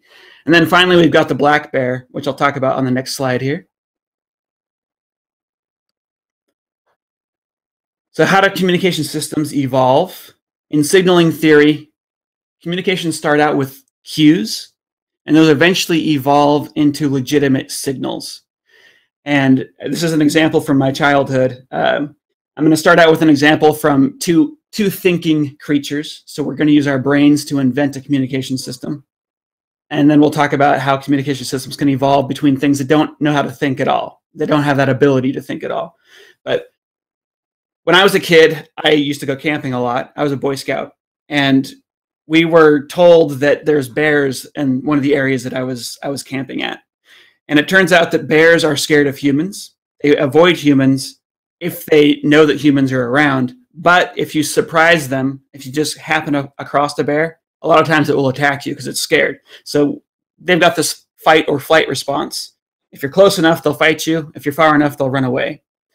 So the bear wants to run away from you. It does not want to interact with you.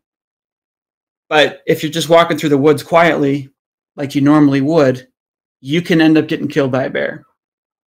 So we were told to signal to the bear that we were present. And we would do this by singing when we were walking in the woods. We would do this by talking. Um, some people would put bells on their shoes, things like that. There are different ways that you can signal to the bear that you're there. And that will allow the bear to run away. Now, when all organisms, all things are constantly putting off cues that they exist. So, um, I'm right now, I'm making noise, and another organism that might be in the room could hear that noise and get that cue and hide from me. Maybe there's a spider in the room with me. I'm not trying to communicate with spiders in my room right now. I'm communicating with you guys. So what I, this the these things that I'm sending out, this noise that I'm making to the spider, that is considered a cue. The spider picks up on it, but I'm not sending it on purpose. Someone walking through the woods, their footsteps are a cue to the bear. The bear can pick up on that, but the person just walking through the woods isn't actually sending a signal. They're just accidentally emitting cues. Um, predators can use cues to hunt their prey. So it's there, there's nothing intentional about sending out a cue when uh, a sender starts doing it on purpose, when a sender starts actually trying to communicate with the other entity, then we call it a signal. And in biology, um, we call it a signal when uh, when the sender starts magnifying the cue because they're getting some sort of survival benefit from it. Uh, is that is that clear? So the difference between a cue and a signal is that clear? Okay. We go to the next next slide here. Okay. I'm I'm, I'm just waiting for So- my, my, my rebuttal. Yeah. I know. So Steve. ha- patient. You're so- doing good. I'm proud of you. So how is it? So how it that communication systems evolve between things that can't think? You know, I, I was able to develop a communication system with a bear because someone taught me how. So I use my brain to do that, and the brain's using uh, the bear's using his brain to figure out, you know, what to what to make of these signals that are being sent his way as well. Well, in bacteria, it turns out when we study the the communication system in bacteria, it's very clear that the molecule that they send out is actually just a waste product. It's their it's their urine essentially something that they're just trying to get rid of. Uh, they don't want it in their body. Other bacteria uh, evolved a receptor that could receive that receive that urine. We'll just call it urine. It's not actually urine, but receive that molecule. And when it would receive that molecule, they would change their behavior. We now see that uh, these things are actually producing these waste materials on purpose. They're actually producing more than they need. They're- actually burning calories to produce these faster than they otherwise would be, and because of that, we we now call it a signal. These these bacteria, you could say, are doing it on purpose. They've they've evolved uh, a they've evolved the ability to enhance their signal, and so we call it a true signal now. And it turns out that bacteria actually have a fairly complex. Some of them have a fairly fairly complex collection of signals and fairly complex reaction to those signals that they send and receive to one another. And this entire, all of this is happening without a brain. all of this is happening simply because of descent with modification acted upon by natural selection. Communication systems evolve every time two or more evolving entities have selection pressure to cooperate. And when there is selection pressure and two evolving entities, the communication system will emerge. It will, it will evolve.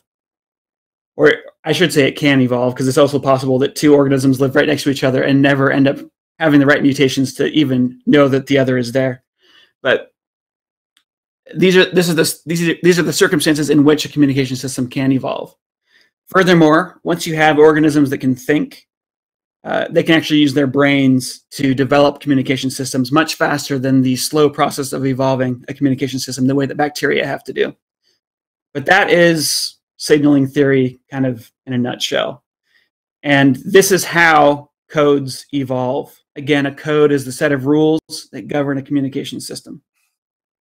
And next slide here.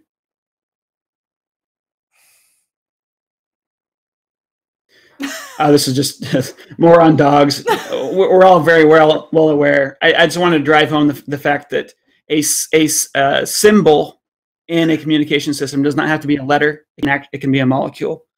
Um, one of the symbols, uh, there are many symbols in a dog communication system, and they can they can smell those molecules. They can they can get all sorts of information. Is the dog in heat? Is the dog bigger than me? Um, and so forth. They can actually recognize each other by these molecules that are in their urine. And again, those molecules those molecules aren't a dog in heat. Those molecules are symbols saying that this dog is in heat. It's not a, it's not an actual dog in heat. It is truly a symbol that the dog can understand. So that's why Yo when you take them out on a walk, yes, yeah, I- they their their their Facebook, their Twitter is smelling the bush that some other dog peed on. So be nice to your dogs and let them sniff that bush next time you take them out for a walk. so much like I, I'm all sounds into so bush much like my sniffing. Twitter. Yeah, yeah, and but he's Lots not of allowed on Twitter. Is it All right, coming to Jon- lots Jon, of does that- Does that wrap? Mhm. Is that? Do you have any more slides? Uh, the next slide. Where's the next slide?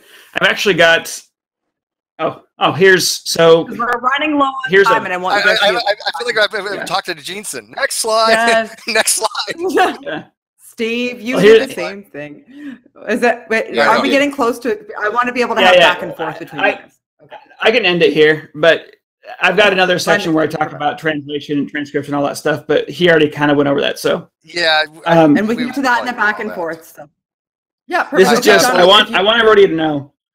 I want everybody to know that the this book right here, Behavioral Ecology, is the best book to start if you want to learn how communication systems evolve. And uh, this that book's expensive though; it's a textbook. This paper right here that I'm showing on screen, which I can't read on. uh, hold on, ha, I've got it here too. Um, that's a really good paper that gives a good overview. It's called uh, Evolution Theory of Bacterial Quorum Sensing. When is a signal not a signal? And actually, this is a, a paper by Stuart West where he was just correcting um, the the use of other biologists. Uh, they were misusing signaling theory and not understanding it properly. And this this he corrects them. And well, actually, Stuart West didn't didn't write it. He was one of the authors on it. It's a really good paper that describes what signaling theory is at its core in biology. So, and that's free. You can just Google that and find it. Thank you. All right. Okay. All right. So we're So running yeah, low on I'm, time. I'm done. So- yeah. Okay. There's not a lot of time for formal rebuttals, and I really want to see the interaction back and forth as you guys ask questions. I, I, I'm going to try to I, I got to address. I know, Steve. I know. Just let me finish the sentence, and I promise you can go.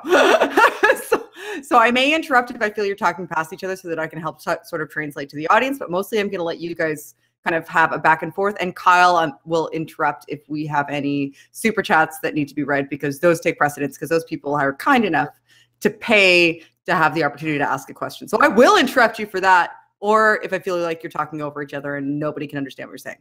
So, Steve, I will let you take the floor first because I know you're about to die. so, so please go ahead. Steve. No, no, Um, not at all, because I, I, I think the last ten minutes. I'm proud of that you. Um, it- it's funny he's mentioned things like quorum sensing. We actually have a PhD that did their thesis on quorum sensing, and so we've talked about it before.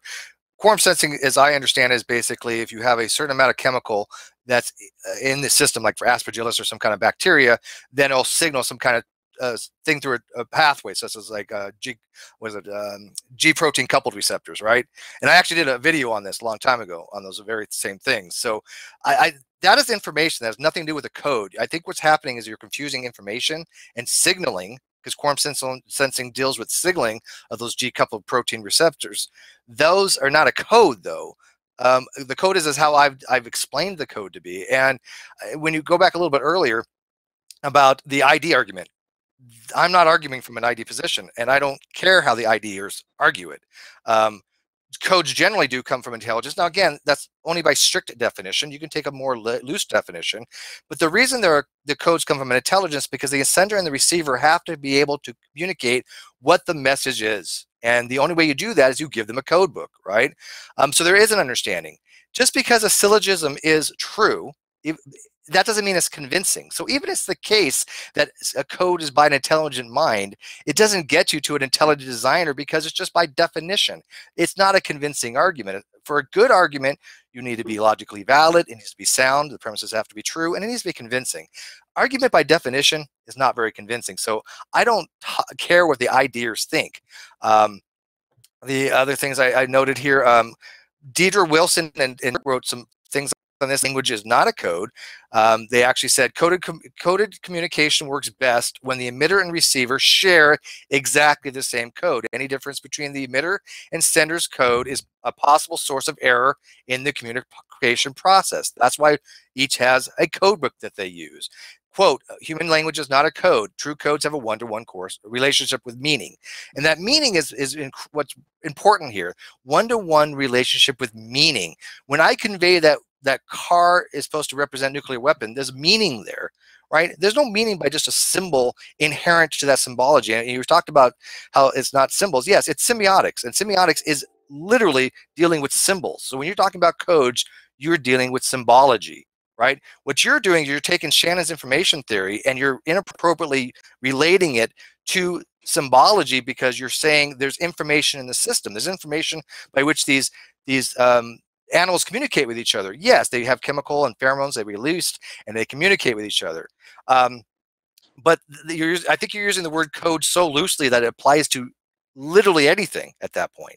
I'm using it in a very specific way. So when you're, you're talking about um, all these things like quorum sensing, I don't see how it relates in any way, shape, or form to, to the topic of a DNA as a code. Let's assume there are natural codes. I'm not going to argue either way on that. I'm, I'm, agnostic on that particular point of view. But if it is oh, the case God. that that if it is the case that it requires an intelligence, it doesn't matter to me. It doesn't. It doesn't. It doesn't help the ID argument at all. It's not a convincing argument to me. Does that make sense? Steve, you, you Steve, you have okay. somebody, uh, and this will. Uh, uh, let me just break in real quick because there's a super chat that kind of um, is, is relevant to what uh, Steve just said.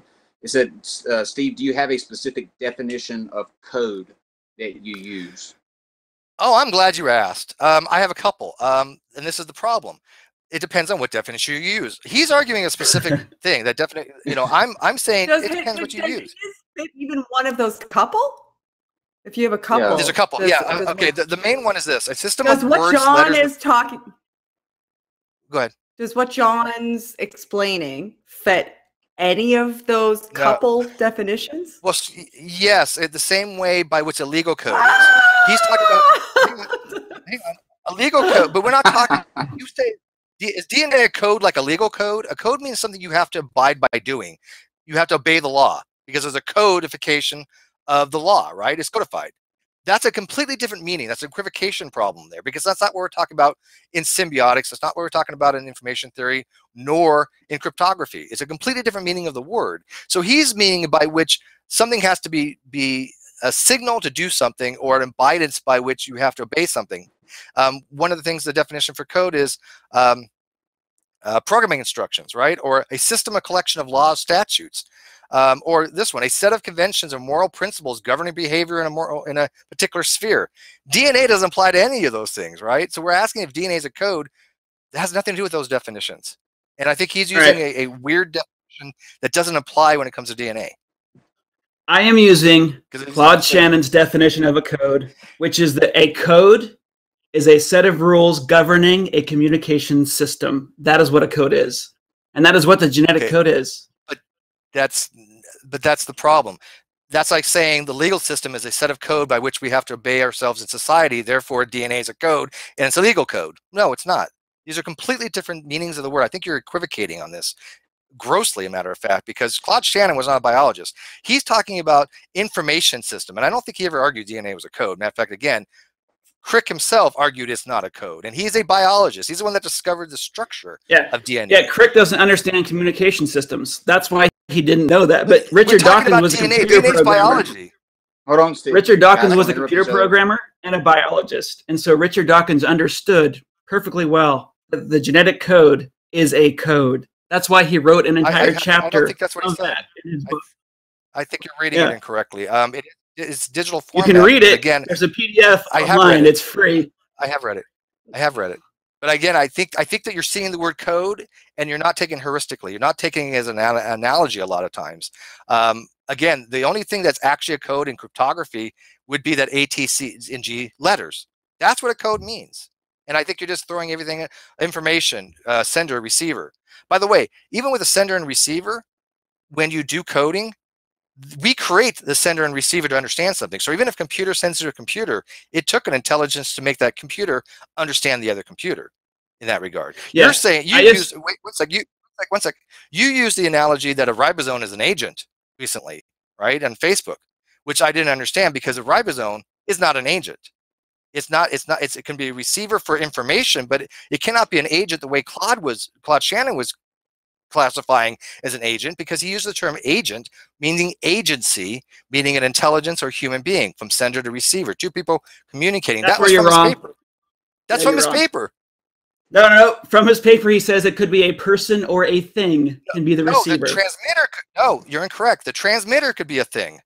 The transmitter could be a thing. The agent. want me to pull up the paper? I, I can pull up the paper. I've for read you. it. All right. It's Let me pull it up for you. Um, goodness. All right. Things are getting heated. Oh my goodness. Is DNA a code? Is it not a code?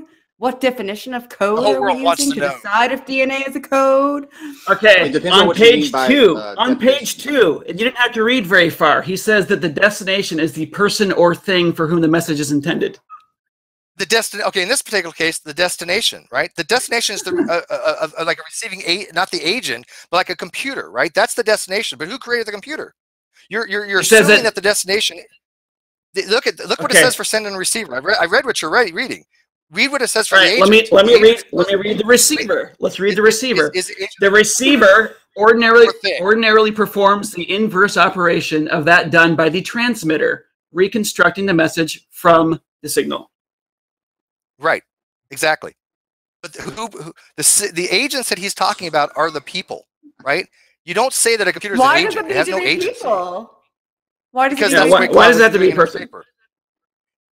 Because when you No, use he- the word agent, that implies agency, the ability to think on your own, right? A computer doesn't do that. We have to establish the format by which a computer receives something. Could you be transmits imbuing that meaning onto his paper though? Like, could you be imbuing I- that I meaning actually- I've onto it actually- I- based I- on your I- understanding?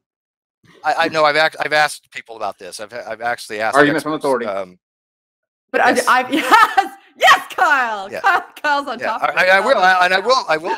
I say that because you know, I mean, But this I've is heavy asked duty people, stuff. isn't it? but you have to have an intent here. You have to have an agency, right?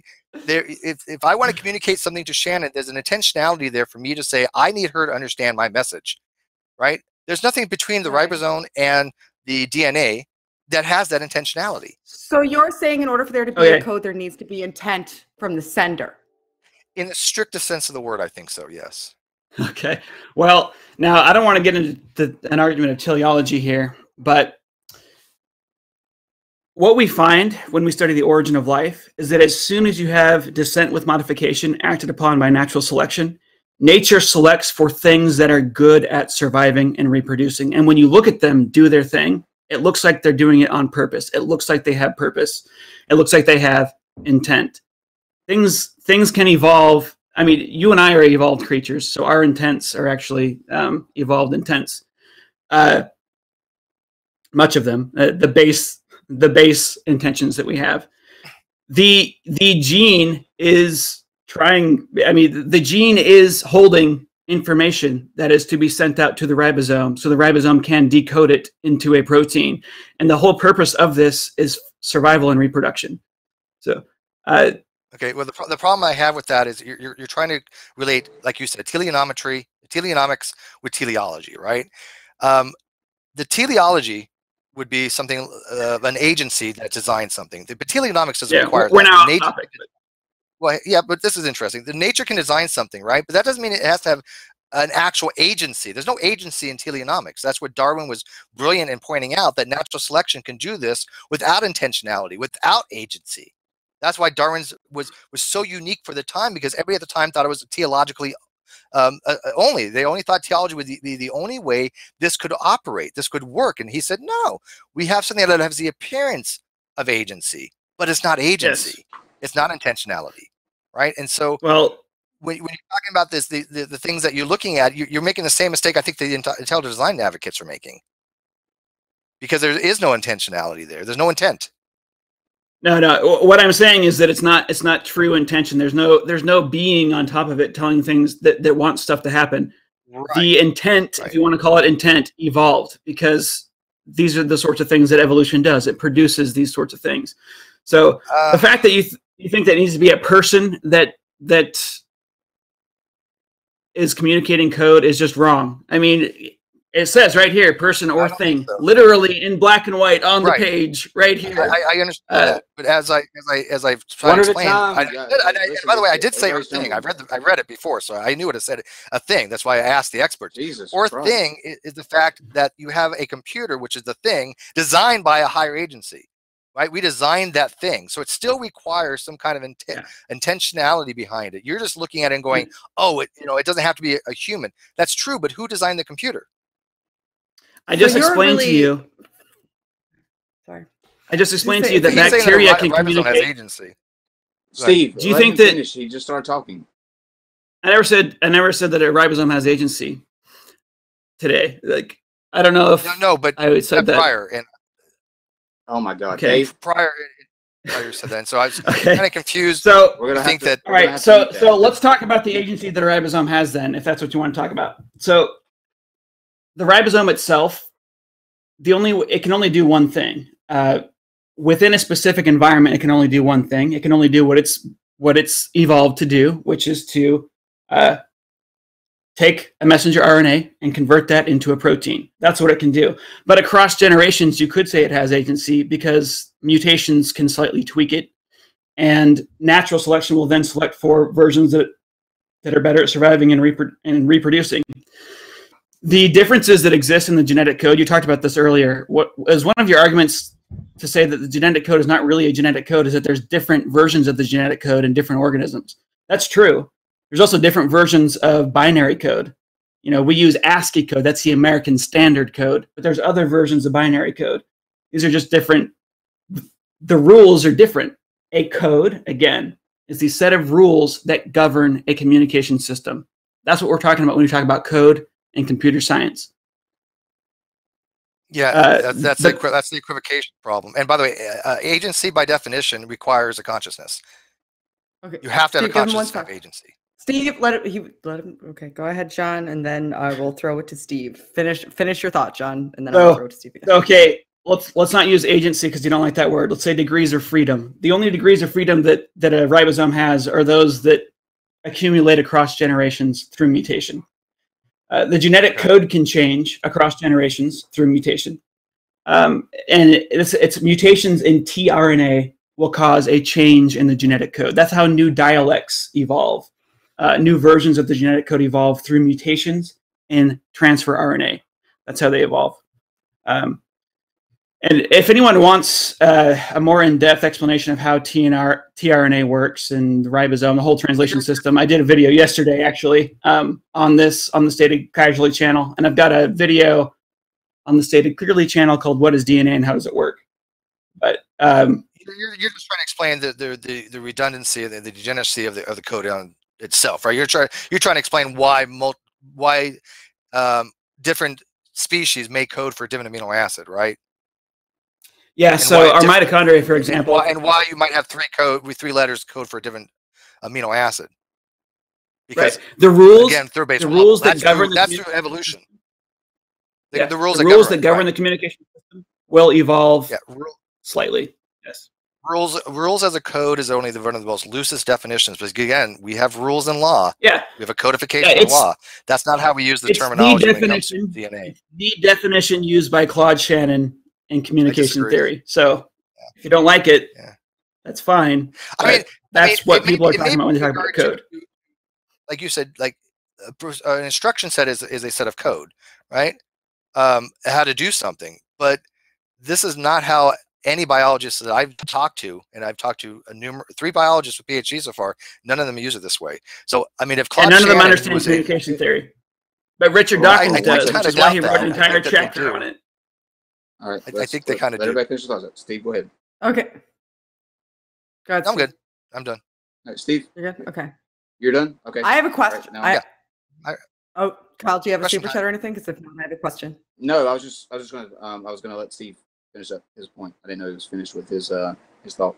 Um, so go ahead, Shannon. Okay.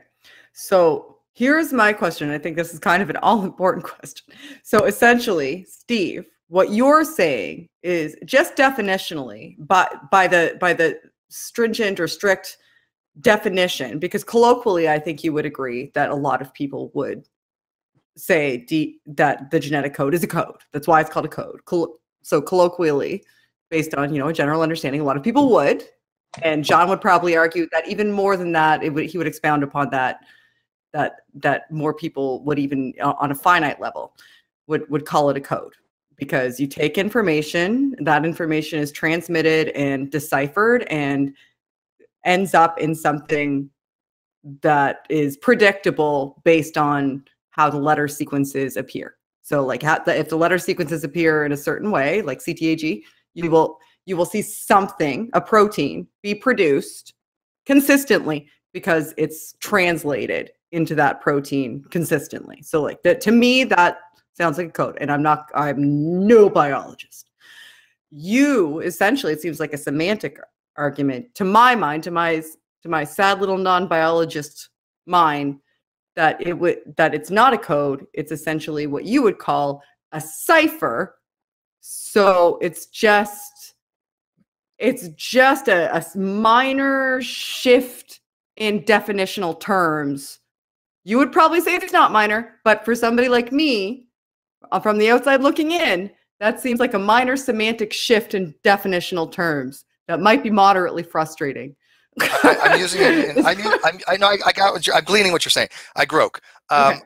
I'm using the most strictest forms of, of, of terms here, but I, I have to ask you: when you say ge- the genetic code is a code, what do you mean by genetic code? I mean, the, You asked that the question. chart of code. No, what does she? The genetic mean code is the these. when she- I, no, hang on. I'm not, I, she asked the question, so I want to know what she means by you because she said if you ask anybody if the genetic code is a code, well, when you say a that, what do you mean by the genetic code? But what is the When genetic code? what- I'm not talking He's saying it's the it's the codon chart. So when the RNA goes through the ribosome, the RNA, the, the this letter sequence on the RNA is being read by the ribosome, and the ribosome is turning that into a protein, and it's turning it into a type of protein consistently based on the letter sequence that it's reading on the RNA. Does that make sense? I, I may be Yeah, it, it does. It does. I. I think I, I, I- personally, I'm not this is how this is my an summation. No, this is my summation. Um, the genetic code. When I when I think of the genetic code, I think of the letters A, T, G, and C. That is, those are a code. Those are secondary symbols representing a primary symbol. No When problem. did they those stop being a code? When you talk about information when you're just talking about the information that's flowing from one point to another point that's not a code that's information in the system that's not transportable you can't take that information and convert it to binary codes have to be transportable you have to be able to convert it from one form to another you can't do that in this particular case I So can because convert the I can't ATs, put it into a computer symbols. and a computer could make a protein? Just because there's no, no, only no. How- one thing that can decipher the code and, that DNA and turn it into a protein. How do you convert if i say dna is in there's code in dna how do i convert that into braille Right. The only thing that's the Braille's going to show is something that represents A, T, G, and C. Correct? because it's not linguistic information. Braille is is linguistic communication information. And that's so why uh, we're code is back to codes can only be linguistic by your definition. And by the way, um, So- I'm not arguing that DNA is a cipher, or the um I'm not arguing that this all is is a cipher. I'm arguing that it could be a cipher, maybe a code in Luce's definition, but it's pseudocode, pseudo cipher. It's not really one or the other in many ways. Yeah. Yeah. That's I'm arguing my- that the genetic my- code. Okay. okay, go except for ahead. I'm arguing that the, ge- the genetic code, that is a code. the, the genetic code, that codon chart, the set of rules that govern the way that the genome communicates with the ribosome, that code is a code in exactly the same way that binary code is a code.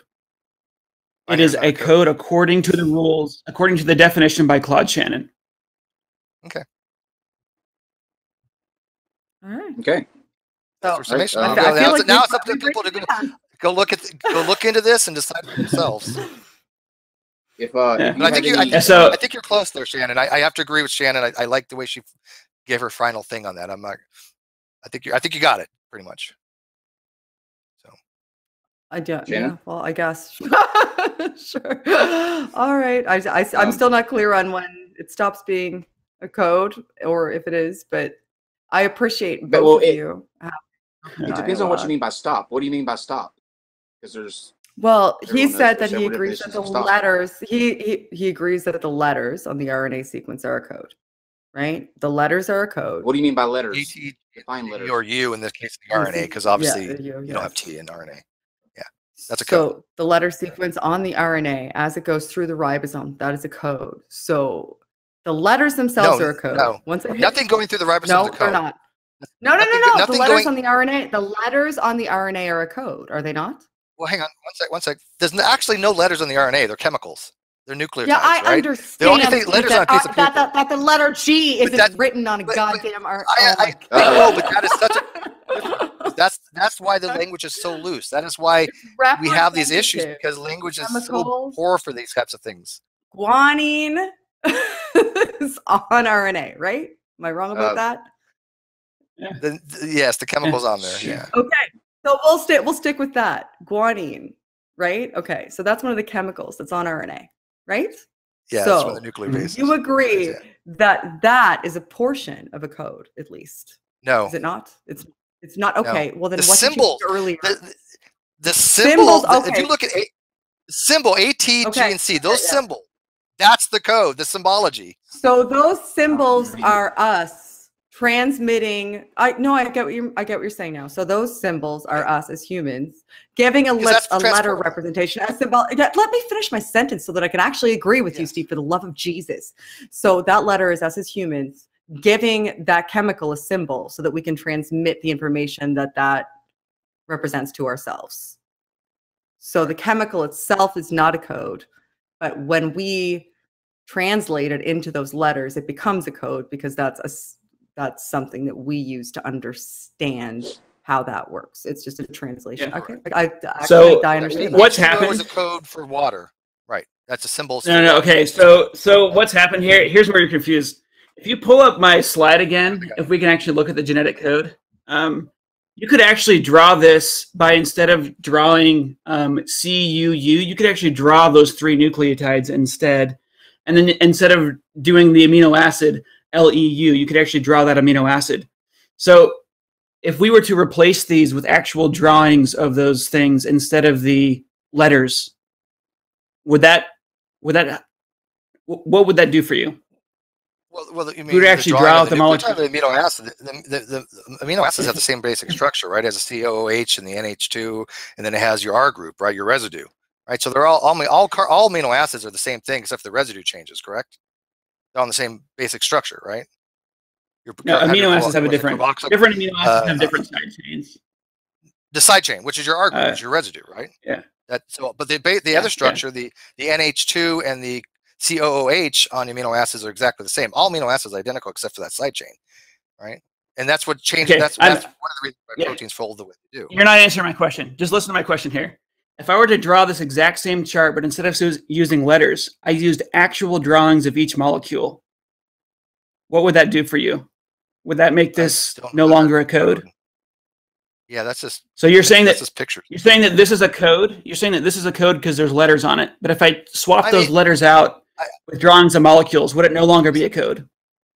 Yeah, because again, a code a code has to have conveyance of, of a meaning, right? And and like a word. Yeah. Like a- again, my example with the car and nuclear weapon. Car conveys a meaning to nuclear weapon. Just a symbol. That's more of a cipher than anything. A you- you're dealing with. Uh, you're, you're Okay. taking uh, one thing and you're converting it into a different symbol. Symbol. That's a ciphering.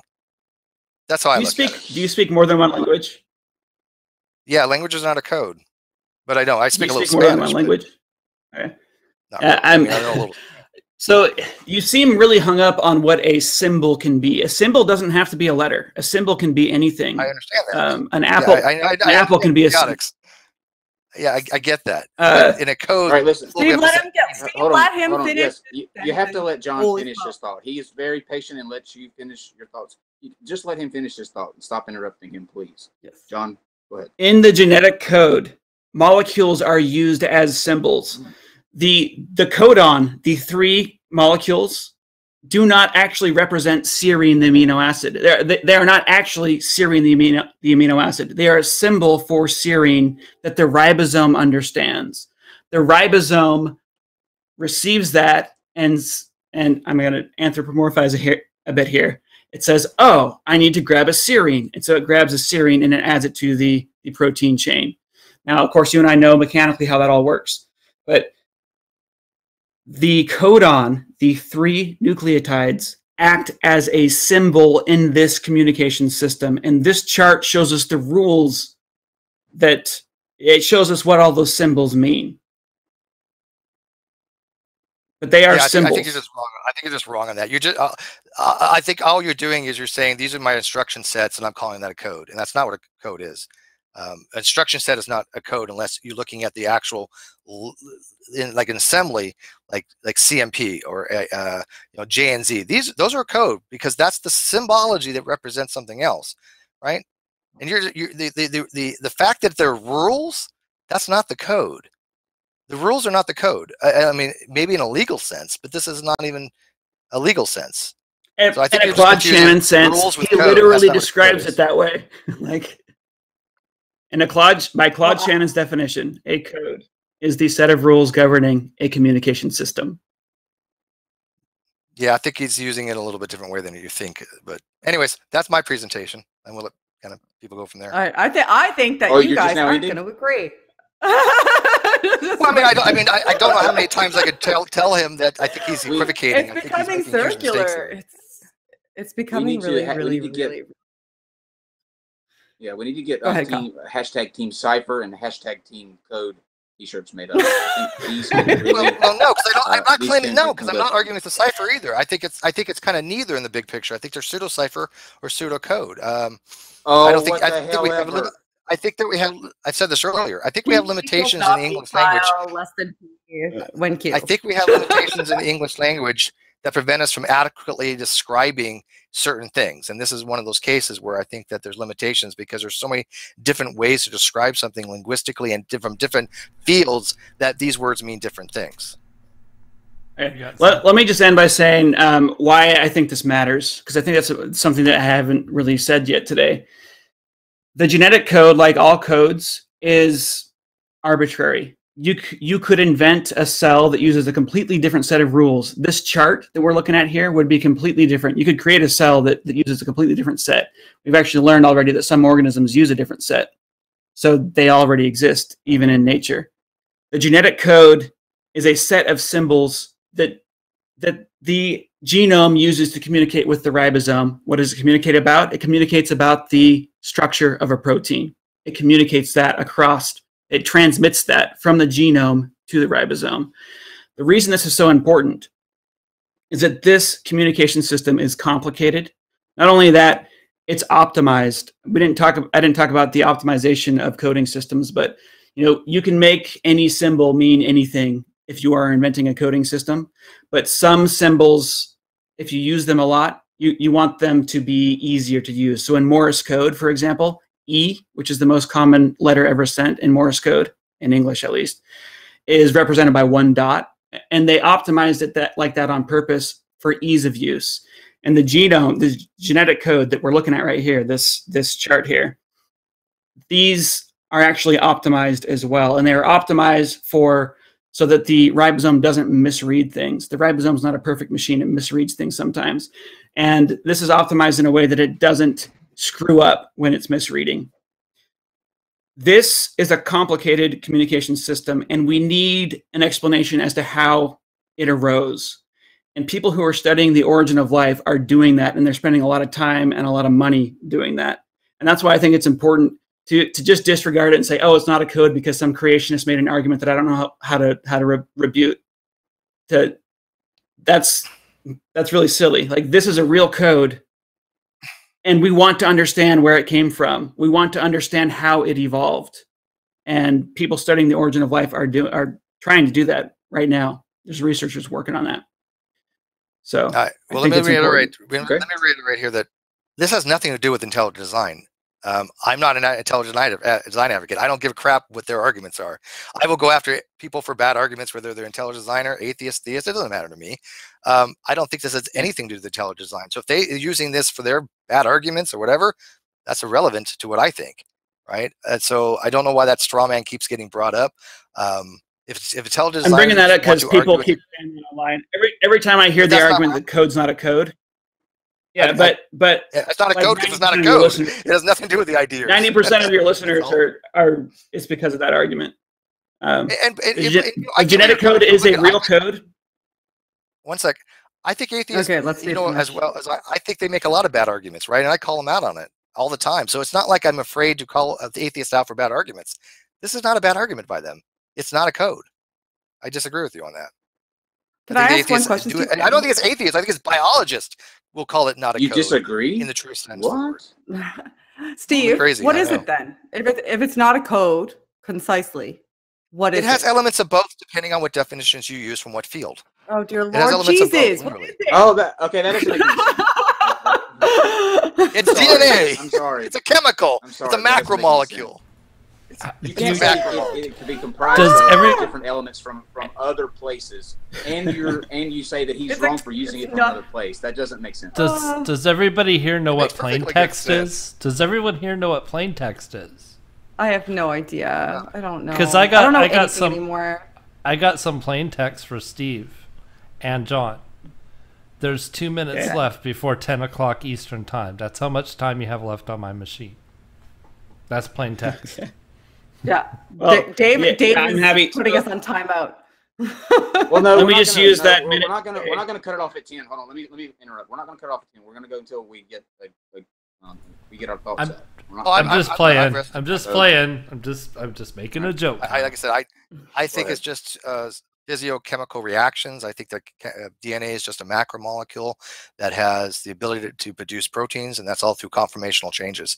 Um, and that's what the information is that that I think Shannon even refers to is is that there's has to be some kind of intentionality there. Shannon, if I remember correctly, doesn't mention he either says intent or intentionality. That's a critical thing because there is no intent, there is no agency, there is no intentionality in things like ribosomes, even even in a teleological, or excuse me, a teleonomic type thing. There's no agency there. And yes, agency requires some kind of consciousness. That's literally what the word means to be able to But change your brain state information, though. to decide. There is definitely information. Yeah, absolutely. There's information that's- that's being translated into proteins consistently. Yeah, Like, the so information is what's that required. the same sequence will be translated, for lack of a better term, into the same proteins consistently. But that's Yeah, way, you can understand how it's I look at complex for me to not understand how that's Yeah, not a code when it's consistently translated into the same thing. Information arbitrator that translates that information output consistently the same. Right? Information, something that translates that information, output consistently the same, but not the same as the information.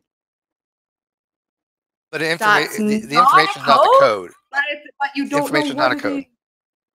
Okay. No, I do know what You it, I mean. I do know what Okay. information is. Information is what's required to describe the state of a system. I'm that's why Shannon gets- that you don't. I'm just like Well, hang on. I don't understand what- why it's not though. Like, and you could for some Because for a I'm layperson like it. me, this seems like semantics. It's not. but you can't tell me what it is. It's not a code. It's definitely not a code. What is it? I don't know. not A bunch of different not shit. True- not in the true definition. Yeah, not not in the in the strictest sense. It's not a code. Now, information again. When Shannon's talking about this, Shannon, uh, Shannon's talking about Shannon. Um, we're talking about entropic Okay. states. We're talking about the I'm entropy of so a lost. system, right? And the entropy, the entropy is the unusable energy in a system. In this case, how much is wasted? How much is lost by sending information through a noisy channel, right? When a noisy channel is, you have the you have um, you need more bits of information than you normally would use in a clean channel, right? Because of what's called entropy. And what I described in my presentation that in for a four four nucleotides, you need two bits of information, right? That's the minimal amount to convey information. But the code is the C, T, G, and A. The zero, zero, the zero, one, that's not the code, right? The code is what I'm coding for is for the nucleotides. The information is just what it is to get to zero, zero, one, zero, zero, zero, one. That information, that signal, and if you ever look at discrete signal processing between like um, a quad operational amplifier or, or any kind of electronics, you have a lot of signal processing, right? That Well, signal does processing, does- that okay. information that's in those that in those discrete systems is not ever called code. I've I've never seen code used in electronics that way. So if you're looking at the Here's Turing model, right? If the, Tur- the, the, the, Tur- the computer, the Turing model, if you're looking at the Turing model, the computer is a ribosome to me. Like his computer is a ribosome. Nazi information, Turing's computer, output protein. And the, and the difference is that we we designed a computer. We have the we are the agent. So it all are- comes we- down to that. This is why Jon brought that up because it all comes down to well, then that means there's a designer.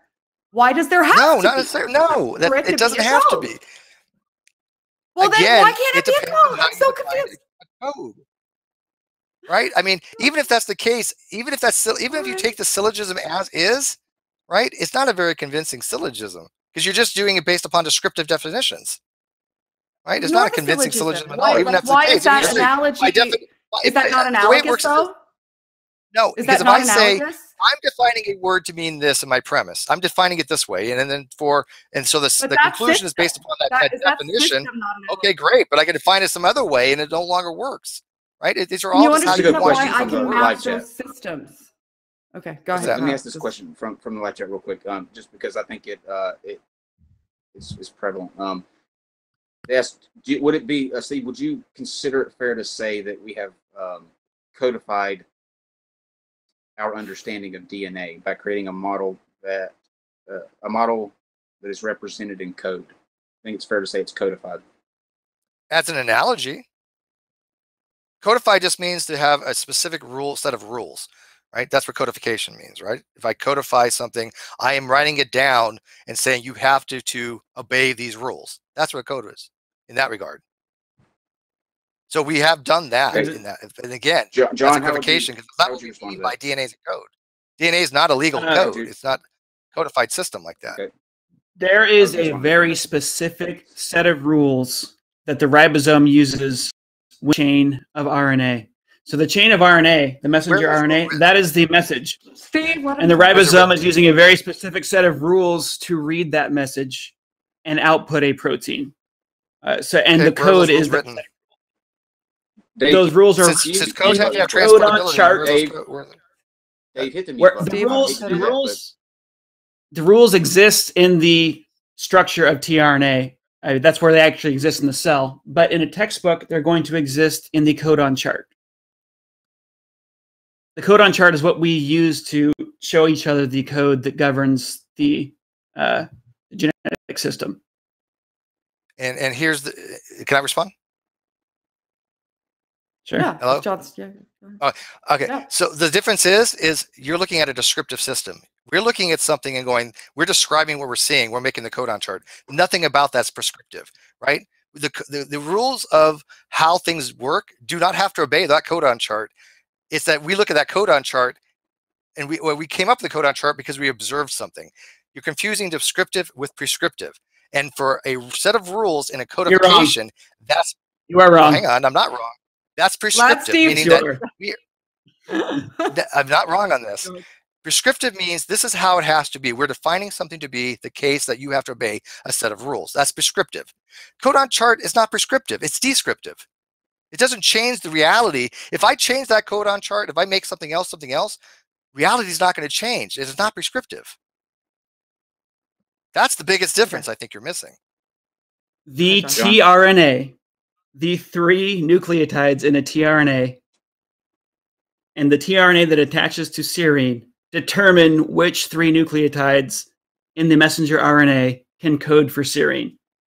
They are they are determining that. They are prescribing that. It is the You're structure of the understanding what I'm tRNA that's prescribing that. Yeah, you're not understanding what I'm We saying. can- we are then- we are then prescriptive and describing it. prescriptive.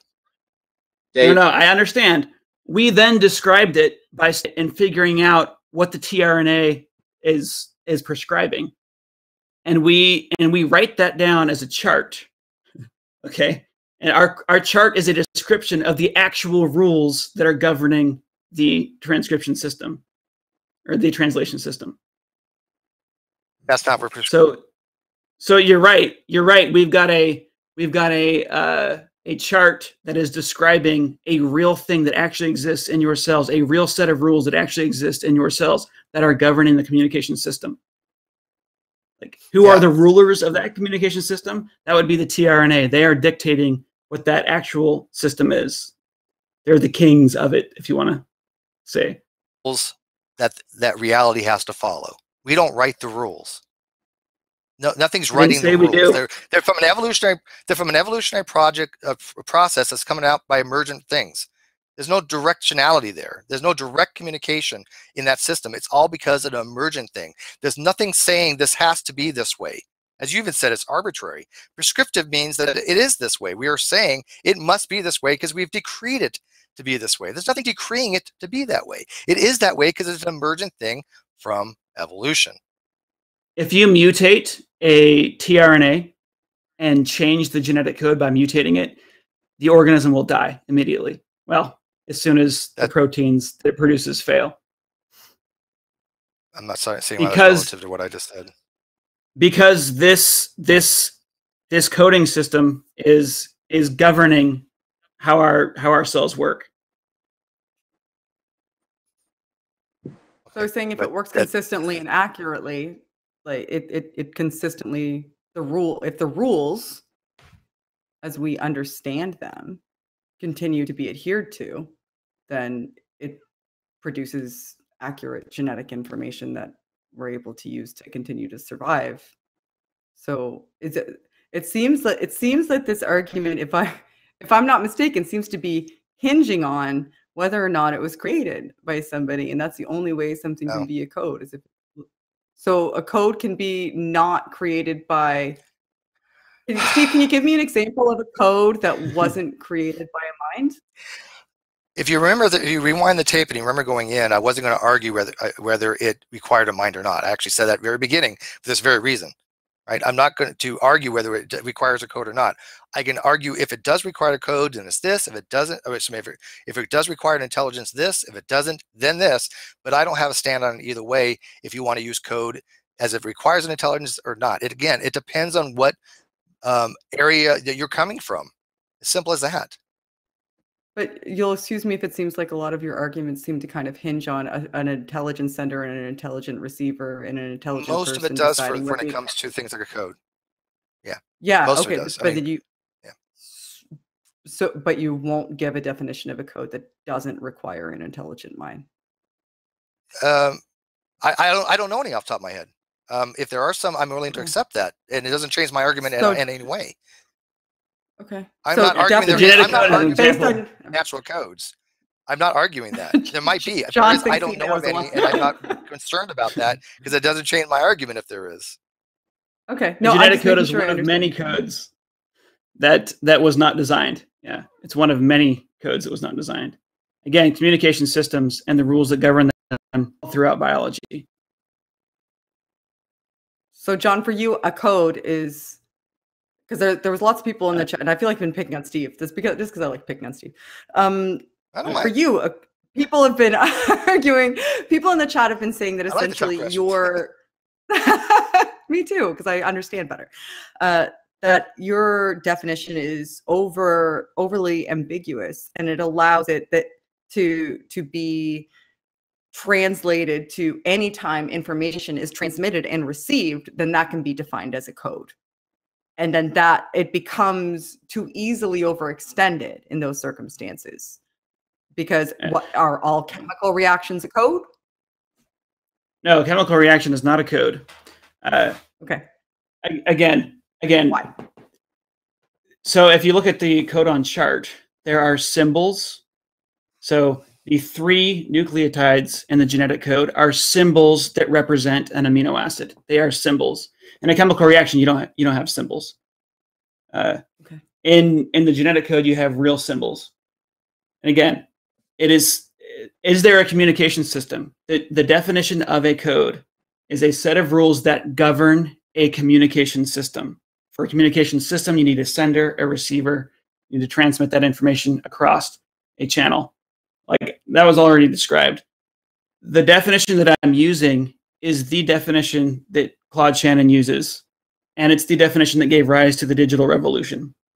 This this allowed people to realize that look, we don't have to just we can invent codes out of pretty much anything. We can we can have two machines talk to each other. We don't need an intelligent person to intervene. We can have machines talk to other machines if we have a code, a set of rules that governs that communication. They can talk to each other. This was a huge deal, uh, and that's why Claude Shannon is so, uh, you know, famous among people in that study computer science. Well, if I, Shannons are could, awesome. if I could say something real quick, I think you just kind of shot yourself in the foot by your, what you just said because you just said chemical reactions are a code, but the process of the central dogma biology from from DNA to mRNA to, to protein, that whole transcription to translation is one big chemical reaction. It's one big exchanging of information of how to do conformational changes. It's physiochemical. Yes. That's why it's not a, it, it, that's again, chemical reactions are not a code. There's no code in that system. The code is what we interpret Okay. and we give it meaning. No, no, no, you're wrong. So a chemical reaction always wrong, I is not necessarily a code. There are chemical there are chemical reactions that gov everything there are chemical reactions in the genetic code, but a a chemical reaction is not a code. A code, again, let me just say this super slow, is, is a set of rules governing a communication system. So if chemical reactions are involved in that, that's fine. So, so, For reaction so, in and of itself is not a code. to form water. Those are obey chemical You have rules. to, That's the you have to repeat that. You have to repeat that. He had you muted. You have to repeat that. Yeah. Nobody just Oh. So the rules for like hydrogen, two hydrogen and, and oxygen coming together to form water, there's rules involved in that because it's a chemical process that must follow a certain thing. I mean, you you you put hydrogen and oxygen together in the right conditions and they form a, a water molecule. There's rules of chemistry that dictate that. That's a code. No, because it's not a communication system. It's communicating Can how to it make the molecule. No, What's the difference? it's not a communication system. There's not two entities that are communicating to each other. In the genome, there are two Hydrogen entities oxygen. communicating to each other. No, Come combine. no, it is not a communication system. I showed you a chart of a communication system in Claude Shannon's paper. I defined it very specifically. Why do you not understand this? You even watched me I, take I my think talk I yesterday. do actually. I, I ask And him that again- question like five times a day. Ask him the I, same I, I, I, question. I've, I've, I've, I've read his stuff and I've actually had discussions with people who are PhDs on this that are disagreeing with you. So if I don't understand and they don't understand, I'm cool with that. Um, but No, I've had you don't- like, you did not talk to three someone a biologists that PhD in don't read communications. Sanders paper the way you do. You talk and to two a, of them are you talk geneticists. to, One's a to biologist. a biologist. You you talk to two biologists that don't understand About communication DNA, systems. Yes. yeah. If I'm What are gonna the two look at entities, about Jon? DNA, what's what's Shannon? What are what are the two Jon, entities? what are the two entities that are communicating with genome- one another in order for that chemical reaction to not fit the qualifications of any other chemical reaction? The genome is communicating by sending a message, by transcribing a message into RNA, Mhm. sending that message, transmitting it through the cell to the ribosome. So you have the genome and you have the ribosome. These are the two entities that are communicating to each other. What are they communicating about? They're communi- com- communicating about the structure of a protein. That's what they're talking about. So there's a purpose in the transmission. Yeah, I- yeah. I mean, you're using teleological language, which uh, a lot of people don't like talk using in biology. But yes, the the there is the the point is to communicate the structure of a protein. Okay. All right. Okay, So- so we're gonna um, go ahead, Shannon. No, I, I, I'm almost. I, I don't even know anymore. I don't even know how to define the word code anymore. To be honest with you. Uh, Yeah, I need to- I need to moose, drink after uh, this, moose 'cause, uh, cars and was fun, though. driveways, Thank you. mountains, and mailbox. As long as words don't mean anything, I'm just gonna spout them out. You know, 'cause definition doesn't mean definition. And, um, no, words don't mean words. Uh, Um, so uh, Alright. if you thought that uh, we couldn't, uh, that we were winding down, you're wrong because the people in the live chat want a after show. So we will be having an after show on this channel to uh, bring in uh, people from the live chat that want to hash it out further. Of course, Oh. everybody in the will be Dear sweet Jesus.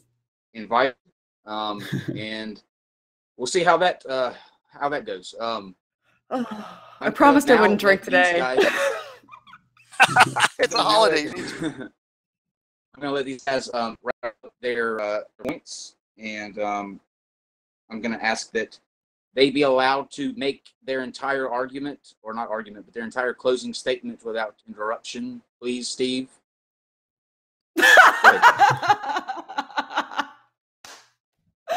ahead, Jon. Okay.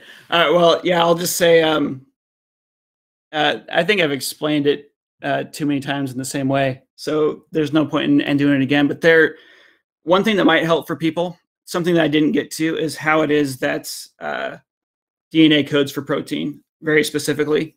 And I, I didn't bother doing that today because Steve had gone over it. But uh, I did a video yesterday showing uh, exactly what all the molecules look like, showing how the entire thing happens start to finish, that people can go ahead and watch on the Stated Casually channel. Uh, that's called What is the Genetic Code? And so if you want to understand more the physical, how the physical processes work, all communication systems work through physical processes. Uh, I'm talking right now, it's a physical process. Um, I'm using sound waves as symbols in this communication system. DNA uses codons as symbols, so it uses molecules as symbols. The entire process of communicating is it's always a physical process. Uh, the same is true in the genetic code, and you can learn about that process on that video. So Okay. See. Um, I think the real question here, though, is um, do colors exist? Um, I think that's really what I it boils see. down to. I will. um, you know, all I got to all I got to say on this is, look at, um, you know, any Okay. minor issue or mistake that I may have had as a layperson, I'm cool with that. I'm open to correction if people want to like say, well, you know what, you're you're you're right on that, a little bit wrong on that. I'm totally cool with that. Um, but when people go vote on this, all I ask is, who do you think had a better presentation and what makes more sense to you? Um, I think that I clearly pointed out that DNA is not a code. I think that um, fortunately Jon has a lot of misconceptions when it comes to, to um, the relating information to code and signaling and, and all this. And he's looking at it from a very myopic point of view of just Claude Shannon rather than the bigger picture of, of DNA itself and what a code is and is and isn't in, in semiotics and what it is in, crypt, in cryptography because this is what it mainly coding has to do with cryptography more than anything else, right? You're, you're taking something and you're converting it to something else for whatever person, perfect purpose. But you had asked earlier, Shannon, I'm gonna leave you with this as, as a, for a definition of something. And I thought this was interesting. Um, one of the definitions uh, that's out there uh, for encode is um, to convert a message into a code or to another language or to an okay? And i think that's the problem here. He's thinking this because of the conversion. He, there's something being converted from one thing to another that has to be a code and it's not. It's an or. And so just because you're you're changing something from one form to another and you're changing it um, across a system from from two things that sender and receiver inherently doesn't make it a code. It just makes it information transfer. So i leave it at that Okay. Um, now, uh, Jon, uh, I fucked it up the first time. What um, what is the appropriate to word the poll that I'll put up in, in Twitter based on um, the conversation? Is the, the genetic code a code? Would that be? Yeah, yeah, that, that would work. Okay, all right. All right, so guys, um, I'll put that up here uh, here Well, now. hang on. I Um, disagree. I don't like that title because Oh the genetic God, code is a code. If you're I, no, because this is critical. If you change that, if you change it to that, I agree because the genetic code is ATG and C is a code. So I again, what do you mean by genetic code? I'm gonna pull my fucking hair out. I mean, you can't just change. The, you can't change it to something how completely frustrated different that, that that makes it a different question. As and I agree with the genetic Yeah. code. If ATG and C is a code, That's his. Steve, how would you word the question then? Steve, how would you word the question? Did you not watch all- the same for debate you know that I what? just did? I, you know what? I'll tell you what. I'll tell you what. I'm so convinced that I that I've put forth a better argument, and then more people will be convinced that it's not a code. Word it the way you wish. I'll let the people decide. Oh my god. You you could just ask it, Team Steve, Team Jon, right? I guess. Yeah, you know that's better because if you ask the question is genetic code a code again, you're you're you're, you're you you you imagine Fair. makes the difference what you mean by code. If they think ATG and Z, uh, ATG and C, then yes, it's a code. That's They're it. gonna I'm gonna yes, start it's drinking. I'm gonna start That drinking. biases the, That's the, it. the, the, the question there. I don't even care what time of day it is. I don't care okay, well, guys, um, just- guys, uh, you can you can um, find that on Twitter here in the next um, five minutes. I um, yeah, I'm so con- I'm so I'm so confused, Steve. Right now, I'm I'm so I'm so lost. We'll let the experts come in and but sort it all out. How about that? Yeah. Sound it- good? it- Oh, anyways, Herman's dying in the chat. Herman is dying. ar- argument. Team. Steve. So So we will be having a- a, a, an after show here in about 30 minutes. We will start it um, up. I will for the guys on the call. I'll put the um, the link to it in uh, in Twitter in the DMs that uh, our, our group chat. And then um, if you are wanting to actually be in the call, you're a Patreon. You get um, choice come in. Um, and then I know uh, Dr. Mays, um, CRISPR. Uh. Actually, I'm not sure if Dr. Mays. I don't. I don't. I didn't see where there where he answered if he wanted to come in or not. But if you do, Dr. Mays, send me a message on um, Facebook, uh, Twitter, DM Twitter, and Twitter. I mean Facebook, which really means Twitter. So, so we're, we're keeping with the code of. Either. Um, I swear. yeah, uh, I want to say thank you, thank you both, uh, Shannon and um, Jon and Steve for uh, together those presentations. Mhm. Um, I happen to like likewise.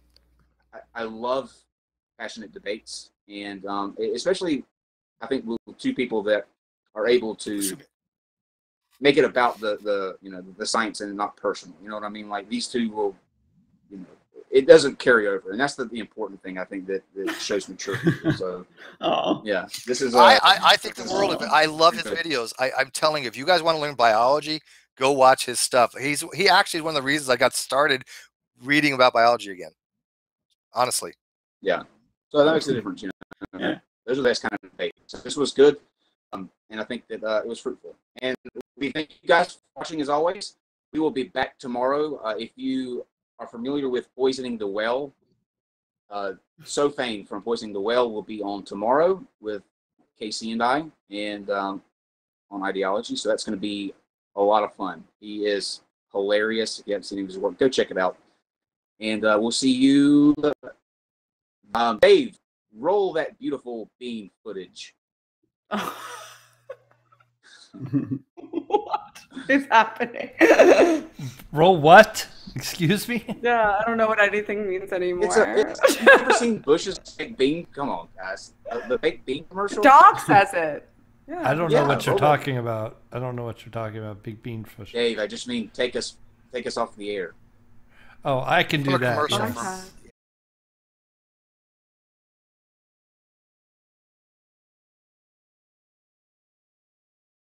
Non sequitur. Your facts are uncoordinated.